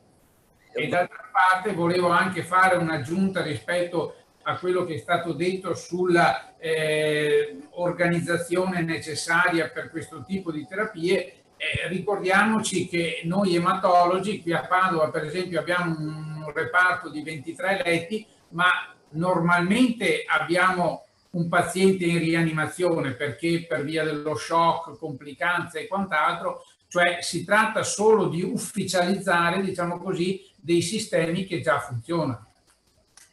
La complessità clinica eh, naturalmente pone una, una, una, questione di indicazioni. Eh, Andreini ha detto che eh, le alla fine iper, si, eh, sono complementari, uno non esclude l'altro, però eh, c'è il problema eh, eh, del, della, della, grande crescita della, della, domanda dei pazienti che arrivano a, a, a, queste terapie di grande complessità. Professor Trentin, Ehm, sì, allora grazie per la possibilità di intervenire, perché quindi facendo un attimo a quello che aveva sottolineato il professor Semenzato, vorrei farvi vedere un attimo un paio di slide, perché così uno capisce l'entità del problema. Allora, eh, se riesco a condividere, allora, le, un attimo, ok. Perfetto riuscite a vedere? Allora, cioè, il, problema da, il, problema da, dove nasce? Da, nasce quindi da questo studio che è importante, dove vi fa capire, vi faccio vedere le curve, che pazienti che sono ricaduti refrattari, cioè a due linee di terapia o al trapianto, vedete, hanno una curva, cioè una sopravvivenza globale che è veramente bassissima. Cosa vuol dire? Che noi di questi pazienti che ricadono o sono refrattari ne salviamo solo il 7%. Vuol dire che noi dobbiamo intervenire quanto prima con una terapia adeguata. Cioè se il paziente è già in eh, refrattario nella prima linea di terapia, ci dobbiamo già da un meeting che abbiamo fatto anche la settimana scorsa, ci dobbiamo quindi attivare nell'ambito della valutazione del paziente per eventuali CAR-T. Perché? Perché la possibilità che questo quindi abbia una risposta, risposta quindi è veramente bassissima. E teniamo presente che stiamo parlando di tumori eh, neoplasie, quindi alto grado di malignità, pertanto qui non è che c'è la possibilità o si convive cioè, per mesi o per anni, cioè dico o si supera, si controlla la malattia e si guarisce oppure si perisce. Ok, questo. Infatti se vi faccio vedere un attimo anche la, la curva, quella della, dello studio, quindi Zoom, scusate che vado un attimo avanti con altra diapositiva, vi fa rendere conto di come la situazione sia veramente problematica, però vedete che comunque con le CAR-T in linfomi B a grandi cellule che sono ricaduti refrattari, quindi dopo quindi a due linee, perché queste sono le condizioni, quindi le indicazioni AIFA al giorno d'oggi, vedete che si riesce a recuperare, quindi un 47-50% è molto presumibile che questi pazienti siano, siano quindi guariti. E allora, cosa succede con la terapia normale. Questo è con le CAR-T e questo in pratica sono i studi con le terapie classiche. E vedete quindi che mentre questa curva quindi continua a scendere, quella con le CAR-T va a plateau, vuol dire quindi che possiamo avere delle possibilità di recupero, di recupero quindi di pazienti, pertanto quindi con tutti i problemi correlati all'idoneità del paziente che comunque se volete si potrà affrontare, alle complicanze quindi neurologiche o la CRS, la sindrome del rilascio citochinico, però sicuramente è qualcosa che noi nel momento che abbiamo identificato che il paziente già dopo una prima linea, cosa vuol dire? Certi pazienti hanno delle alterazioni a livello molecolare con traslocazione di, traslocazione di geni come BCL2, BCL6 o del CIMIC che creano delle categorie di pazienti particolarmente resistenti. Chiaro, è una terapia che non possiamo fare all'ottantenne, però al di sotto dei 70 anni possiamo quindi pensare di attivarci. E allora quindi, eh, come diceva prima Andrini, eh, mentre questa è una terapia che va fatta nel paziente che ha malattia, nell'allogenico il paziente lo dobbiamo portare al trapianto con meno malattia possibile, altrimenti anche l'allogenico quindi è un buco nell'acqua, nel senso che non permette quindi di eh, ottenere una risoluzione. Questo pertanto quindi c'è un po' l'indicazione e direi che comunque bisogna che identifichiamo questi pazienti quanto prima e forse quindi questo porterebbe quindi probabilmente ad aumentare il numero di pazienti che sono candidati alle CAR-T. Ok, grazie. Eh, grazie professor Trentin perché il suo richiamo al bisogno di un'attivazione rapida di eh, decisioni, all'attivazione rapida delle procedure eh, CART è un richiamo forte perché eh, si discute, certo, si discute ma sullo sfondo drammatico della, della prognosi di pazienti eh, gravissimi. Lei ha detto mortalità 7%, e noi abbiamo ricordato all'inizio di questa discussione che ci sono già 25 pazienti in lista d'attesa per il trattamento CAR-T, ma sono ancora in vita e per quanto tempo? Ecco, le risposte che il sistema è chiamato a dare sono immediate, sono drammatiche eh, in, una, eh, in un quadro, in un'evoluzione, eh, come dire, anche culturale che cambia, cambia eh, notevolmente. Ora abbiamo cellule che diventano farmaci. E allora vorrei sentire Francesca Venturini, che dirige la farmacia di Padova, su questa complessità, anche il lavoro di chi dirige la eh, farmacia, di chi deve gestire un eh, nuovo flusso eh, di farmaci, di terapie, di cellule, ecco come aumenta la complessità, come si risolve la complessità. Francesca.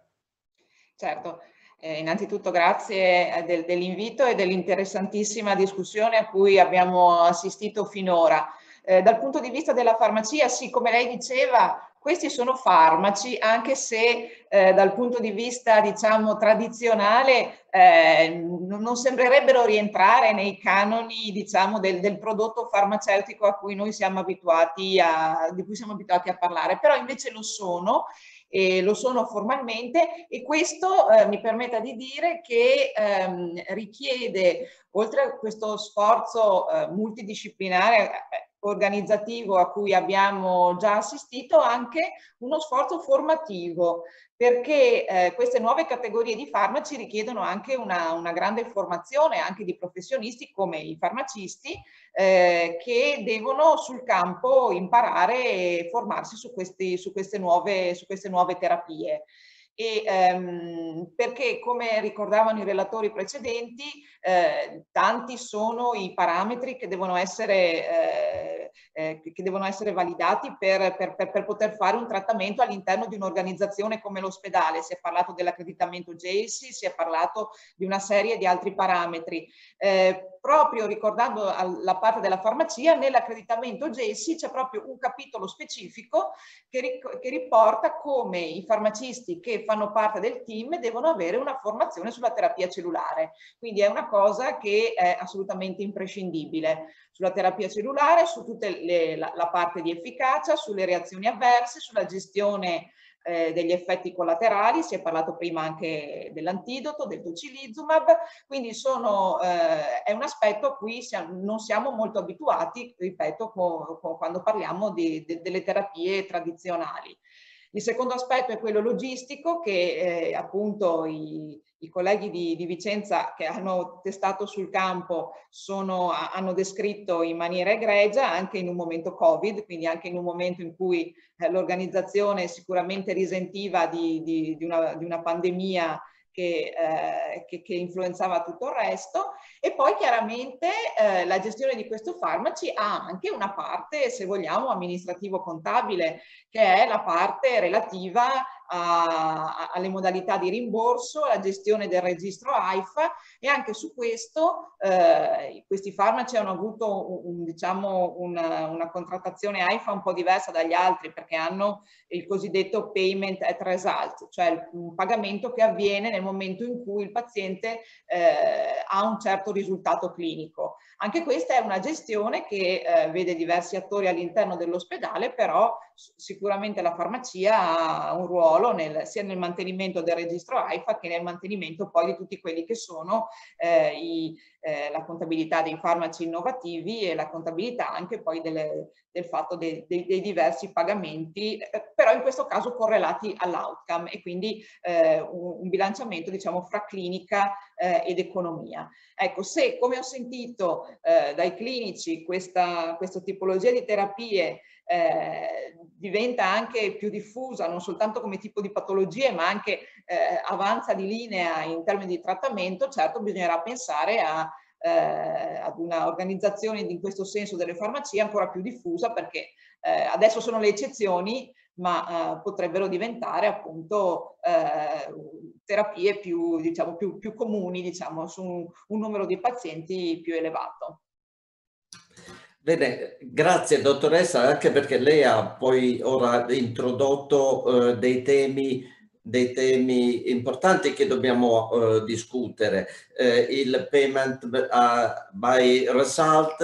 e, e, e, sullo sfondo c'è il grande problema che ha ricordato Guzzonato eh, Guzzonato in apertura. Uno dei più grandi da risolvere però subito nell'immediato che è quello della definizione di, eh, di RG, eh, di RG eh, omogenei possibilmente in campo nazionale. Quindi su questo io sentirei poi subito eh, Pavesi e Flor, ma prima vorrei dare la parola al, alla rappresentanza dei, dei, pazienti, a Silvia Cavallarin, ma alla, a cui chiedo però un attimo di pazienza solo per una piccola puntualizzazione del dottor Ruggeri, quindi Marco Ruggeri, eh, il, il, dibattito al, è iniziato da lei, eh, ha, ha, investito tutta l'ematologia del Veneto, vorrei brevissime sue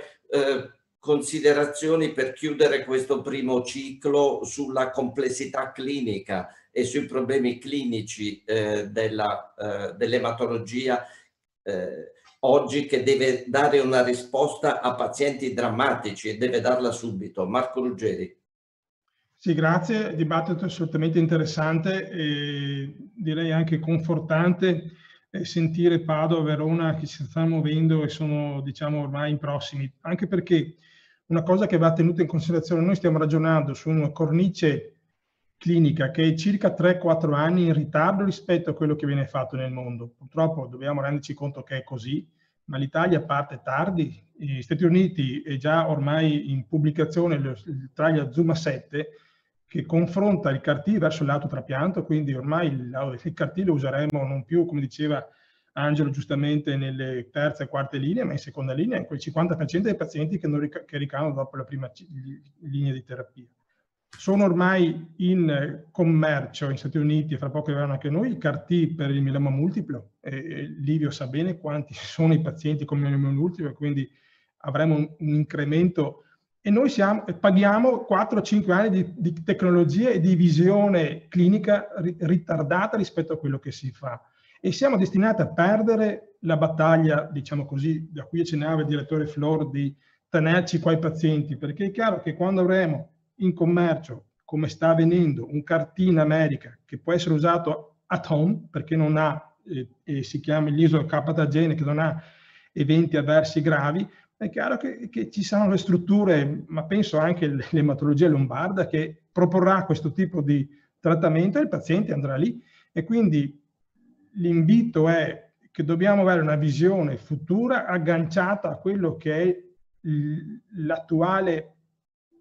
eh, eh, presente statunitense o anche europeo, che è sicuramente 4-5 anni più avanti della visione italiana. quindi su questo dobbiamo lavorare molto e avere una strategia anche di tipo politico e amministrativa che vada oltre il sistemare l'attuale, che, che, è sicuramente già in ritardo. E quindi colgo veramente con molto piacere questo, queste notizie che i colleghi hanno dato che eh, si sta muovendo tutta la struttura veneta perché abbiamo una sfida enorme da, da vincere, da vincere per i nostri pazienti. Ruggeri, in Lombardia ci stiamo ancora leccando le ferite, quindi tempo ne avete, su questo te lo, te lo eh. posso assicurare. Non eh. credo che partiremo con le cartine, siamo ancora lì che stiamo traballando, insomma. Eh, ma conosco bene la realtà di Paolo Corradini, lui partecipa a studi registrativi di, di, in cui il CAR-T viene usato in linee molto più avanzate, molto prima. E questo è, è, il futuro che è già qui e quindi dobbiamo ragionare già eh, su questo tipo di eh, paradigma. Ma, ma, è l'unico, eh? gli altri centri sono in difficoltà. Insomma. Non è una buona cosa comunque questa, ovviamente. Comunque Marco, io quello che volevo aggiungere, tu hai detto benissimo, però noi non è che siamo indietro dal punto di vista tecnologico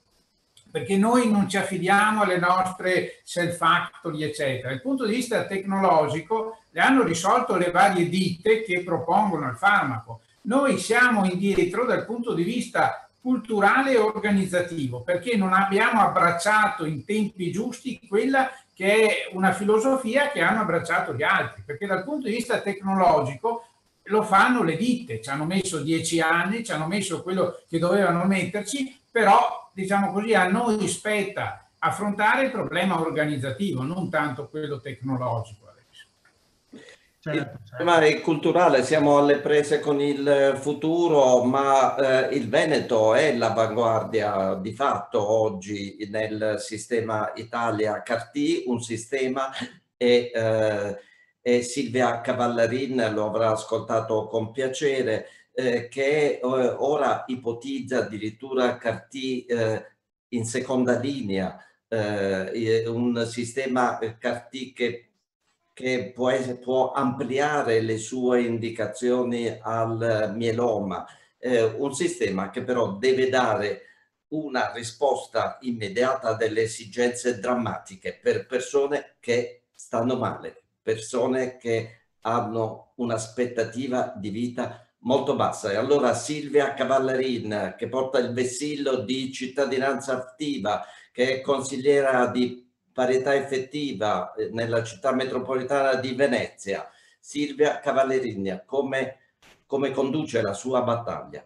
Allora, intanto io ringrazio Motore Sanità eh, per l'invito. Eh, io partecipai anche al convegno del 28 maggio del, dell'anno scorso, Roadmap Carpi, prospettive attuali e, e future, quindi ringrazio sempre eh, per il coinvolgimento che date eh, alla, nostra, alla nostra associazione. Allora, io eh, ringrazio anche tutti i, i professori che, che, stanno partecipando a, a questo webinar e, e, e, e, come dissi l'altra volta, io che sono, sono, un avvocato, che sono giuridica, eh, capisco, eh, riesco a capire eh, eh que, que, quello che dite.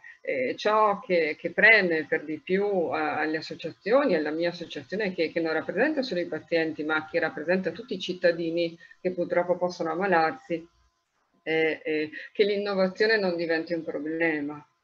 L'innovazione all'inizio, eh, qualcuno ha detto si tratta di una rivoluzione epocale, no? Poi nell'ascoltare i vostri eh, interessantissimi interventi, io mi sono fatta degli appunti, io ho scritto eh, problema politico, una fragilità eh, gestionale,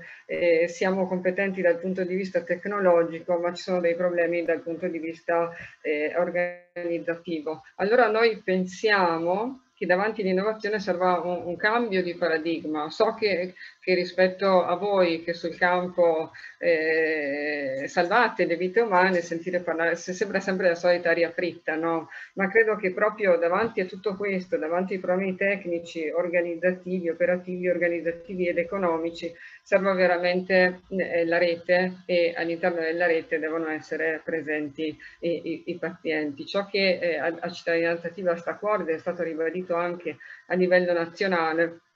è l'accesso trasparente, corretto e accelerato al clinical trial. Questa è, è, è, la cosa che, che, preme di più. E è, una cosa che dico da, da, dal punto di vista eh, personale di volontaria, sono fermamente convinta che l'innovazione, questo tipo di innovazione di cui stiamo parlando oggi, possa veramente ricostruire quel rapporto di fiducia tra medico e paziente che nell'ultimo periodo è andato perduto. Quindi questa credo sia la, eh, la, cosa, la, cosa, fondamentale. E ciò che ci, ci arriva dai nostri report è che molti italiani non sanno cosa sia il clinical trial, non sanno quali sono accesi, non, sa, non sanno come si possa partecipare al, al, reclutamento. Quindi questo è uno spunto che lascio che lascio al, che lancio qui. Grazie. Scusa Daniele, solo una domanda a palese bruciapelo, poi ti lo lascio subito. Ma con i costi ancillari, col DRG in Veneto, ci stai? Perché il DRG, eh, io penso che voi fate riferimento a trapianto allogenico, in Lombardia è circa 100.000. Io non so quanto sia in Veneto, cioè riesci a, eh, a coprire i costi? Ne approfitto per dire e ringraziare che siamo 101 sì. su Zoom e 140 su Facebook, quindi la discussione è molto seguita e ringrazio tutti i partecipanti.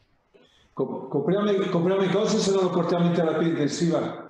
quindi siamo proprio a, a, copertura direi molto tirata perché il valore del trapianto che applichiamo noi è la metà di quello che hai detto te qua nel Veneto. Per noi raggiungiamo più o meno 40.000 euro, quindi eh, se, se, posso, ma proprio riallacciandomi a quello che mi detto te Zanon adesso, E io ringrazio perché veramente è arrivato interessante, mi è servito molto perché sono il più ignorante della tavola. Manca un convitato, non dico di pietra, ma che ovviamente è l'industria farmaceutica, perché tutti i ragionamenti che abbiamo fatto passano attraverso però la volontà o meno di qualificare le strutture e poi di aprirci gli slot per la, la fornitura. Ha detto bene prima Ruggeri, noi abbiamo aspettato, ma non è una critica, ma per capire dopo il contesto operativo in cui ci muoviamo, il doppio del tempo che la, eh, la prima industria farmaceutica che ci aveva qualificato si era impegnata a fornirci il, eh, le cellule diventate farmaco, quindi ingegnerizzate. E quindi nessuna, nessuna ovviamente volontà di diventare noi produttori di farmaci, questo non, non esiste, però un, un, patto forte con questa gente bisogna farla eh, perché altrimenti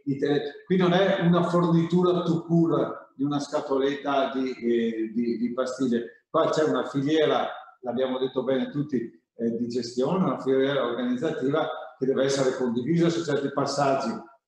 e quindi noi oggi abbiamo la qualificazione con due, con due eh, industrie farmaceutiche. Onestamente non so quante altre siano in grado dopo di fare questo tipo di fornitura. Eh, quanti centri ritengono di qualificare nella nostra regione? Eh, è superfluo che sottolinei ancora le teologie che noi l'entrata di Padova e di Verona la vediamo non solo ehm, favorevolmente, ma importante e veloce però dopo ci fermiamo lì, c'è un ragionamento che questi fornitori fanno invece per ampliarla, ecco, e allora anche magari supportarli su qualche spezzone della logistica che siamo in grado di dare qua a Vicenza, ma sicuramente anche a Padova, a Verona, può essere un ragionamento, perché se c'è un'evoluzione anche di questo tipo eh, di farmaco, secondo me, per evitare la fuga del paziente, bisogna che il patto forte con l'industria farmaceutica la facciamo. Ripeto, non è una fornitura to pur che mettiamo a gara il principio attivo e ci facciamo fare lo sconto. Qui il problema è più complesso, la qualificazione, viva Dio, alla fine è in mano anche a loro, perché se domani mattina uno di questi signori decide che con quella struttura, tra virgolette, non vuole lavorare, io non so cosa, cosa, cosa, come possiamo eh, convincerli. Eh, l'esperienza che abbiamo avuto qua a Vicenza è di, di un processo di qualificazione molto severo, molto attento, non è, non è una formalità, non è una, eh, una, carta che si presenta sul metodo multiplo, per cui bene, e torno a una delle prime domande che abbiamo fatto, bene un organismo, un momento regolatore che faccia da coordinamento del sistema, può essere il Centro Nazionale Trapianti, sul però il dialogo con l'industria farmaceutica deve essere molto serrato e secondo me anche molto selettivo e anche molto collaborativo nell'ottica di dire non voglio che la gente dopo vada dall'altra parte a farsi la, la terapia. Grazie direttore eh, Pavesi perché le CAR-T non sono terapie che si ordinano, si ordinano su Amazon eh, Stati Uniti, ma eh, ci sono le aziende, le grosse aziende e oggi hanno scelto proprio con questo dibattito di essere testimoni eh, delle, delle richieste e stanno ascoltando con grande interesse questo dibattito proprio perché stanno nascendo e lo vediamo proprio da, eh, l'abbiamo visto in queste due ore di discussione, eh, molte eh, esigenze, molte valutazioni, a iniziare dalla prima si è capito che ci sarà una bisogna ampliare la nostra capacità di dare risposte perché è la domanda che si amplia, si amplieranno le indicazioni, i centri quindi devono eh, crescere e eh, perciò ora vorrei sentire anche Luciano Flor perché... Daniele? Scusa, posso dare una risposta al dottor Pavesi? L'azienda nel nostro percorso ci sarà nella parte del, dell'evento nazionale e quindi ovviamente voi che siete un centro così importante è, è giustissimo che siate presenti e che poniate queste domande. Tutto qui. questo è il momento eh, dell'ascolto per eh, l'industria del farmaco che è poi proprio alla fine di, questi, di questo percorso che noi compriamo con motore sanità e con l'importante sostegno proprio di Gilead. Questo a, a testimoniare l'interesse, il grande interesse ad ascoltare eh, questo a prendere il polso eh, della situazione letteralmente, ma ora in questa fase finale della discussione, mancano dieci minuti, eh, vorrei appunto parlare di regole. E allora ci sono regole, come ha iniziato il dottor Palesi, ad affrontare regole amministrative, quindi il DRG, questa è la grande questione, il Payment by result, sono le regole amministrative che devono essere definite, perciò la parola Luciano Flor, ma ci sono le regole cliniche e non abbiamo parlato chiaramente del PDTA, quindi regole DRG, regole PDTA. Per gli ultimi dieci minuti, Luciano Flor. Grazie. Eh, io volevo proprio intervenire su questo perché eh, la slide che ci aveva fatto vedere Paolo Bussonato ci ha detto tutto quello che c'è ancora di aperto e che bisogna affrontare. Eh, che il fatto consolante è che comunque è stata data avvio, è stato dato avvio all'attività clinica, c'è un paziente trattato, anche se non abbiamo risolto tutti i nodi regolamentari di finanziamento, di condivisione eh, no, logistica, e, e, questo è incoraggiante perché una volta tanto la pratica pre, pre, anticipa la predica. No? Eh, allora, visto che stiamo parlando di regolamentare, non è che regolamentiamo una cosa e poi l'attività clinica ci si deve adattare. Io credo che oggi dovremmo fare una regolamentazione che sia funzionale all'attività clinica che dobbiamo svolgere eh, e che tenga conto anche delle cose nuove che ci sono. Forse il dialogo che dobbiamo avere con l'industria non è mai stato eh, di, del tipo che do, di quello che dovremmo affrontare. No? Abbiamo un discorso nuovo da fare, che forse è anche di partnership, che forse è di eh, maggior coinvolgimento, responsabilizzazione di tutte le parti, ma noi su questo vorremmo esserci. Allora, eh, oggi non è stato un problema l'assenza di regolamentazione per fare il primo caso. Non lo deve essere neanche per il secondo, il terzo il quarto, ma è ovvio che la regolamentazione a questo punto è incombente, è necessaria, innanzitutto perché ci comportiamo omogeneamente. Siamo all'interno di una rete che ha condiviso e sta condividendo percorsi clinici, sta condividendo indicazioni eh, appropriate, sta condividendo eh, anche la, la priorità sui, sui casi che dobbiamo mettere in trattamento e le opportunità che ci vengono offerte, è ovvio che dobbiamo avere anche uno strumento gestionale organizzativo che sia omogeneo all'altezza. Io non sono preoccupato, devo dire, per eh, il ritardo che abbiamo avuto, perché al ritardo non ci possiamo fare nulla, non lo possiamo recuperare. Noi possiamo guardare in avanti e con un'agenda molto stretta, con, quel, con quel la slide di Paolo che gli chiedo perché mi interessa, dovremmo a, ciascun, a fianco di ciascuna voce mettere una data e quando siamo in grado di fare quelle cose che devono essere fatte, perché io, il collega Pavesi e tutti gli altri che sono in questa situazione, oggi ragioniamo nel modo migliore possibile per quello che noi siamo capaci di fare, avendo chiaro che abbiamo una priorità che è il malato. No? Eh, questo lo facciamo perché si,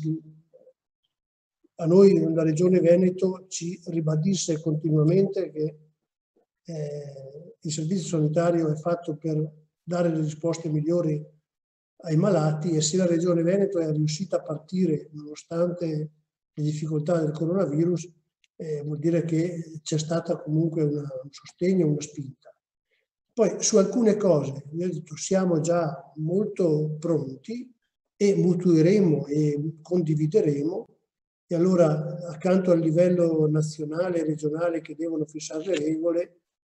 è opportuno anche un raccordo fra aziende per funzionare omogeneamente e senza disdegnare di darci una mano quando è possibile, perché eh, la grande forza del Servizio Sanitario Veneto è quello di avere una rete in molti settori e il fatto che senza tanta formalizzazione riusciamo a darci una mano perché quando va bene va bene per tutti e quando va male che va male per uno solo.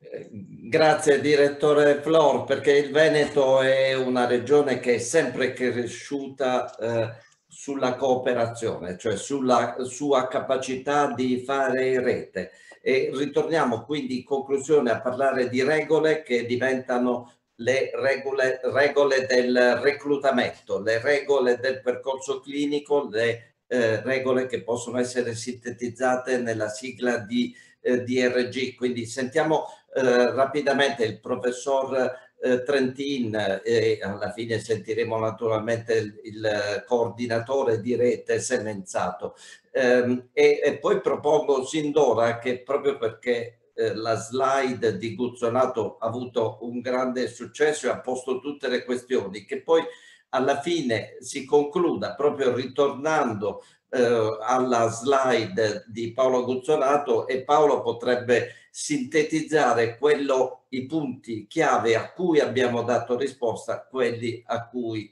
invece, eh, a, quelle che invece attendono ancora una risposta e che restano, restano aperti. Eh, quindi, professor Trentin. Allora, per quanto riguarda la parte del DRG, non è che possiamo entrare tanto in merito, però sicuramente sarà un problema quindi importante che dovrà essere condiviso a livello nazionale. Come diceva prima, quindi anche per la parte del trapianto, c'è già eh, il DRG del trapianto allogenico ha dei costi diversi da regione a regione, mentre sui 40-50 mila euro, quindi nel Veneto, in altre regioni è sugli 80-90 mila euro, per cui ci sono anche problematiche di questo tipo che vanno affrontate anche quindi di eterogeneità tra una regione e l'altra. Così pure quindi considerato che comunque questa è una terapia che passerà sempre prima quindi tra le opzioni terapeutiche, cioè perché comunque noi man mano che andremo avanti con eh, eh col tempo, con le indagini genetiche, for, cominciamo a riuscire a identificare dei subset, dei gruppi di pazienti che sappiamo che hanno quindi una scarsa risposta alle terapie di prima linea, ma comunque quindi sicuramente dopo la terapia di prima linea dobbiamo in qualche modo considerare nel paziente che è già subito refrattario, già proporlo per una, per una, terapia di questo tipo, perché abbiamo detto prima che l'allotrapianto lo possiamo riservare a quei pazienti che hanno già avuto un'ottima risposta alla terapia, perché l'allotrapianto è come consolidare un risultato ottenuto.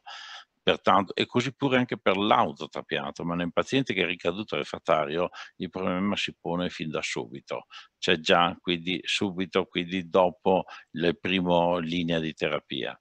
E eh, per quanto riguarda quindi i costi, chiaramente quindi eh, il medico deve fare pensare anche al problema dei costi, non solo quindi al problema del curare il paziente, a identificare bene i pazienti, perché il percorso di identificazione, non so se vi posso far vedere un'altra slide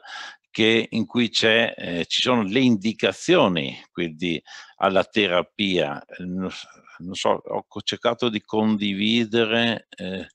vi faccio vedere un'altra diapositiva che è quella del, dico, delle indicazioni uh, alla terapia nel paziente quindi con linfoma B a grandi cellule. Allora, le indicazioni sono pazienti che hanno malattia, quindi che non sta rispondendo, pazienti sintomatici, pertanto quindi dove c'è possibilità di eh, ottenere, ma le indicazioni AIFA, quindi se i criteri di rimborsabilità, vi presento questa diapositiva, sono che sono pazienti intanto cioè in età tra i 18 e i 70 anni, ma che devono avere una certa aspettativa di vita, che non abbiano, quindi non siano candidati a un autotrapianto e chiaramente se il paziente ha una malattia refrattaria non può essere candidato perché sappiamo che l'autotrapianto non serve a niente che però non abbiano coinvolgimento del sistema nervoso centrale, non abbiano altre malattie associate. Per cui capite benissimo quindi che anche la selezione deve essere molto accurata, perché? Per modo da non creare anche delle false illusioni nel paziente. Altro aspetto, se vedete, questo adesso per i tecnici, che basta avere una quantità di linfociti superiore a 100 linfociti per millimetro cubo, quindi nel sangue, per poter quindi far partire eh, l'espansione delle CAR-T. Cioè, pertanto anche questi saranno dei criteri un pochino da valutare in futuro, ma proprio perché comunque stiamo pensando di una sanità pubblica, noi abbiamo anche il doveroso, quindi responsabilità di a fare attenzione quindi eh, a quei pazienti che sono vermente candidati a una terapia di questo tipo e soprattutto non perdere tempo, quindi in modo da riuscire a favorire gli uni rispetto agli altri. Ok? Grazie. Grazie professore. E io però eh, dunque sentirei Ruggeri perché è eh, alle prese, lui che è alle prese con un DRG che è pari a, quelle, a quello del trapianto. Eh, quindi eh, ce la fa? Ci sta Marco Ruggeri? Sì, qua la scelta della, della, dell'AIFA è stata sostanzialmente di fare una codifica per analogia, si dice, sostanzialmente hanno scelto un DRG, e qui volevo un po' precisare di, per, eh, con, con Zanon, di autotrapianto, che si differenzia dal DRG per allotrapianto. Il DRG per autotrapianto in tutta Italia è 38-40 mila euro. L'analogia è perché si infondono le cellule stesse del paziente, quindi correttamente, e questo è un po' quello che si fa in tutta Europa e anche negli Stati Uniti dove si è scelto un DRG eh, per analogia, ripeto, con l'autotrapianto. E come diceva il direttore Pavesi, copre in parte le spese se non ci sono complicanze particolari, ma quello che aggiungo io, noi abbiamo fatto un grosso lavoro con il nostro servizio di gestione perché non è tanto la, il singolo effettuazione dell'infusione, ma qui si tratta di mettere sotto DRG un percorso che inizia molto prima, selezionando i pazienti, come diceva Livio Trentin, con PET, risonanze, TAC, revisioni istologiche, biopsie, valutazioni specialistiche del, dell'intensivista, del cardiologo, fino ad arrivare dopo al follow-up che prevede tre controlli settimanali per i primi tre mesi per 15 anni. Quindi qui si tratta di pensare, e non possiamo farlo noi, lo penserà AIFA, a un DRG che copra tutto il percorso di terapia, che è un percorso, diciamo, complesso. Per la singola spesa ospedaliera, diciamo, è sufficiente il DRG autotrapianto. Ruggeri, scusami, però eh, eh, l'ho detto prima allo trapianto, perché poi qui qualche centro ha giocato in Lombardia, che tra l'altro ne ha accreditati 14, perché eh, AIFA dice dell'autotrapianto, poi però per avere l'accreditamento deve essere accreditato del trapianto allogenico, allora se è un autotrapianto lo facciano tutti, mi spiego? Cioè è qui la contraddizione, vorrei chiedere anche se è menzato, perché lo pagano come un autotrapianto in cellule staminali, poi però per, essere, per poterlo fare deve essere accreditato con JACE anche per trapianto allogenico, c'è qualcosa che non funziona. Sono due cose però differenti Claudio, perché nel senso l'accreditamento che richiede il JACE per allotrapianto è per un discorso legato a un accreditamento di qualità operativa. Nel senso che il Centro Nazionale Trapiante ha indicato questa eh, diciamo, feature che deve avere il centro per un problema di accreditamento di qualità. La, quando viene a essere qualificato il centro da parte di Gilead, di Novartis o di altre, loro vogliono essere certi che tu tratti le cellule al massimo della qualità operativa perché dopo loro si prendono loro queste cellule affrontando un rischio industriale che la trasfezione deve venire bene. E quindi questo diciamo è richiesto. Viceversa la spesa è un'altra cosa, la spesa per infondere il prodotto è stata equiparata a un autotrapianto. Ma sai Claudio, quello che ti dicevo prima all'inizio è su questo principio che tu trasfondi praticamente le stesse, le stesse cellule del paziente che in altri stati europei, la Germania in particolare, hanno autorizzato i centri che fanno solo autotrapianti ad eseguire la metodologia delle CAR-T. C'è un rimborso in Veneto, c'è un rimborso differente in Lombardia e quindi questo invece andrebbe reso più omogeneo, ma eh, l'istanza del dottor Ruggeri e l'osservazione è molto pertinente, cioè alla fine però il DRG, la rimborsabilità deve, deve coprire un percorso che è più ampio rispetto alla alle, alle, alla cura nel periodo eh, acuto. Insomma, una logica di eh, valore, di value patient eh, healthcare, cioè una logica in cui alla fine si bada veramente al risultato complessivo e si porta a casa la guarigione del paziente e il suo follow up.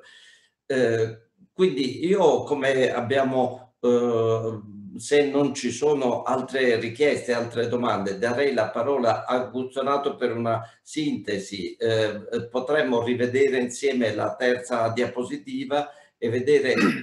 Paolo quali sono i punti eh, affrontati oggi, quelli che restano aperti.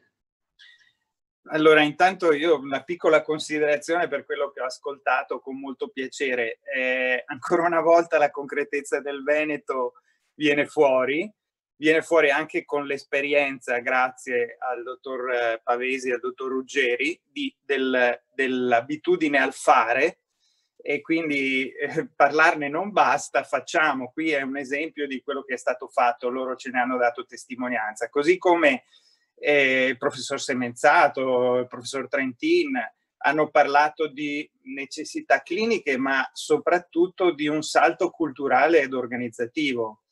Eh, queste, questo io penso, visto che si è discusso molto eh, attraverso Luciano Flore e anche il dottor Pavesi, di, di, di DRG, quindi di parti amministrative importantissime fino a un attimo fa, ma molto anche di partnership industria-istituzione. Io credo che si apre davvero uno scenario nuovo perché è ora di rompere le barriere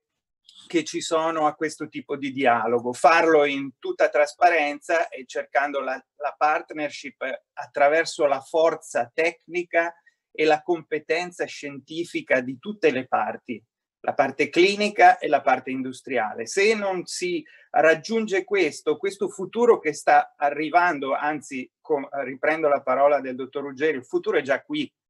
e, come sottolineava anche Luciano Flor, è,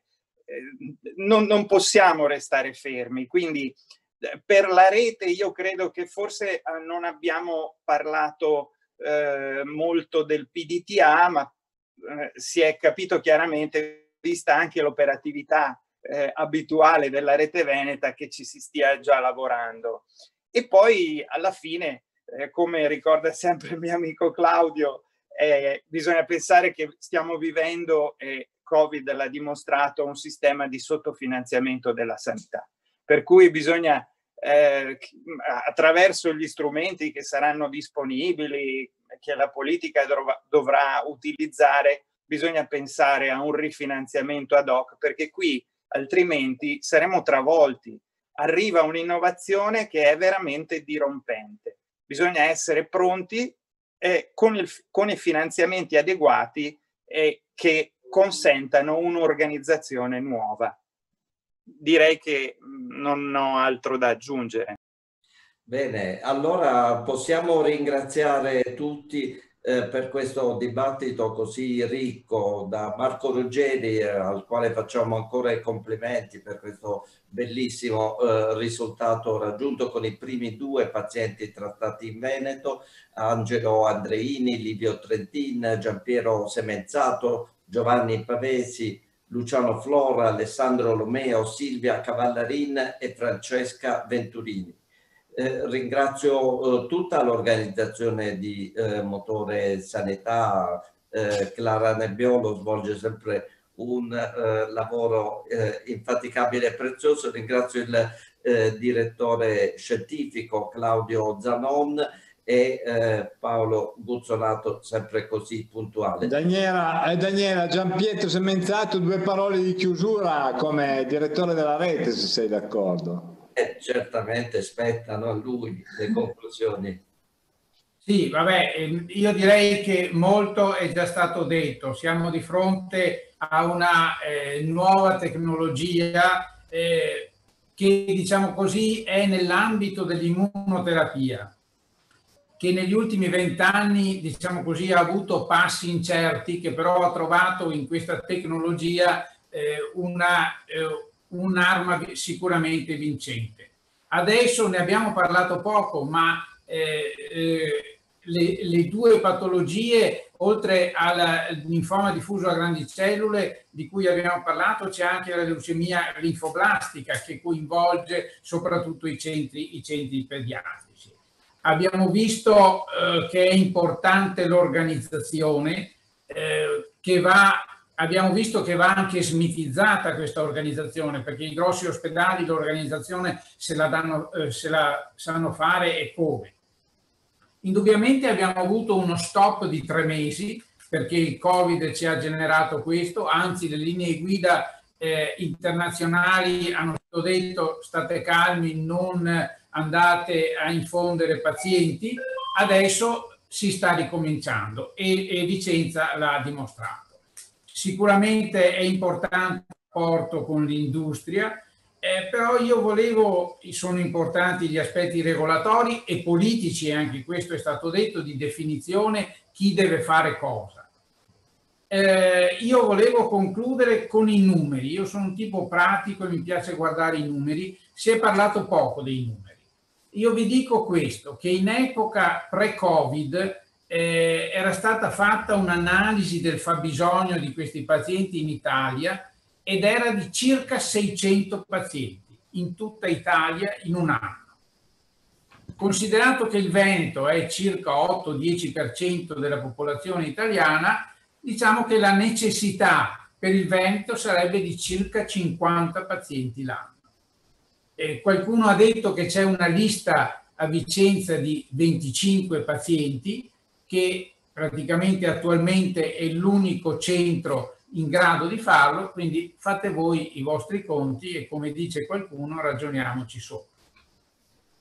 Eh, quindi io credo che su questo eh, punto bisogna, eh, eh bisogna parlarci. Per quanto riguarda il PDTA non sarà un grosso problema fare il PDTA perché li stiamo approntando tutti per le principali patologie ematologiche, la cosa più importante è selezionare accuratamente il paziente. E questo anche in luce di quello che abbiamo detto eh, durante questo seminario, eh, abbiamo detto andiamo alle linee sempre più precoci e quindi questo aumenterà il numero di pazienti, quel numero di 600 se abbracciamo queste idee andrà sicuramente aumentato e quindi secondo me questa è una cosa che va fatta a livello nazionale e la SIE, cioè la Società Italiana di Ematologia, si sta già organizzando in questo senso. Direi che con questo possiamo concludere. Bravo professore. Io venerdì ritorno in Veneto con la mia vera patria, eh, quindi voglio esternarvi la mia felicità in questo senso. Torno all'altipiano d'Asiago. So. Concludiamo con i numeri, eh, eh, di, i numeri di, di, mm, per una metodica che i numeri li ha tutti per dare una risposta efficace, one shot a, a dei bisogni di salute drammatici eh, ringraziamo per il supporto incondizionato Gilead che eh, ha reso possibile questo dibattito. Grazie a tutti, arrivederci. Arrivederci a tutti, buon pranzo, buon lavoro. Ciao a tutti, ciao. Arrivederci.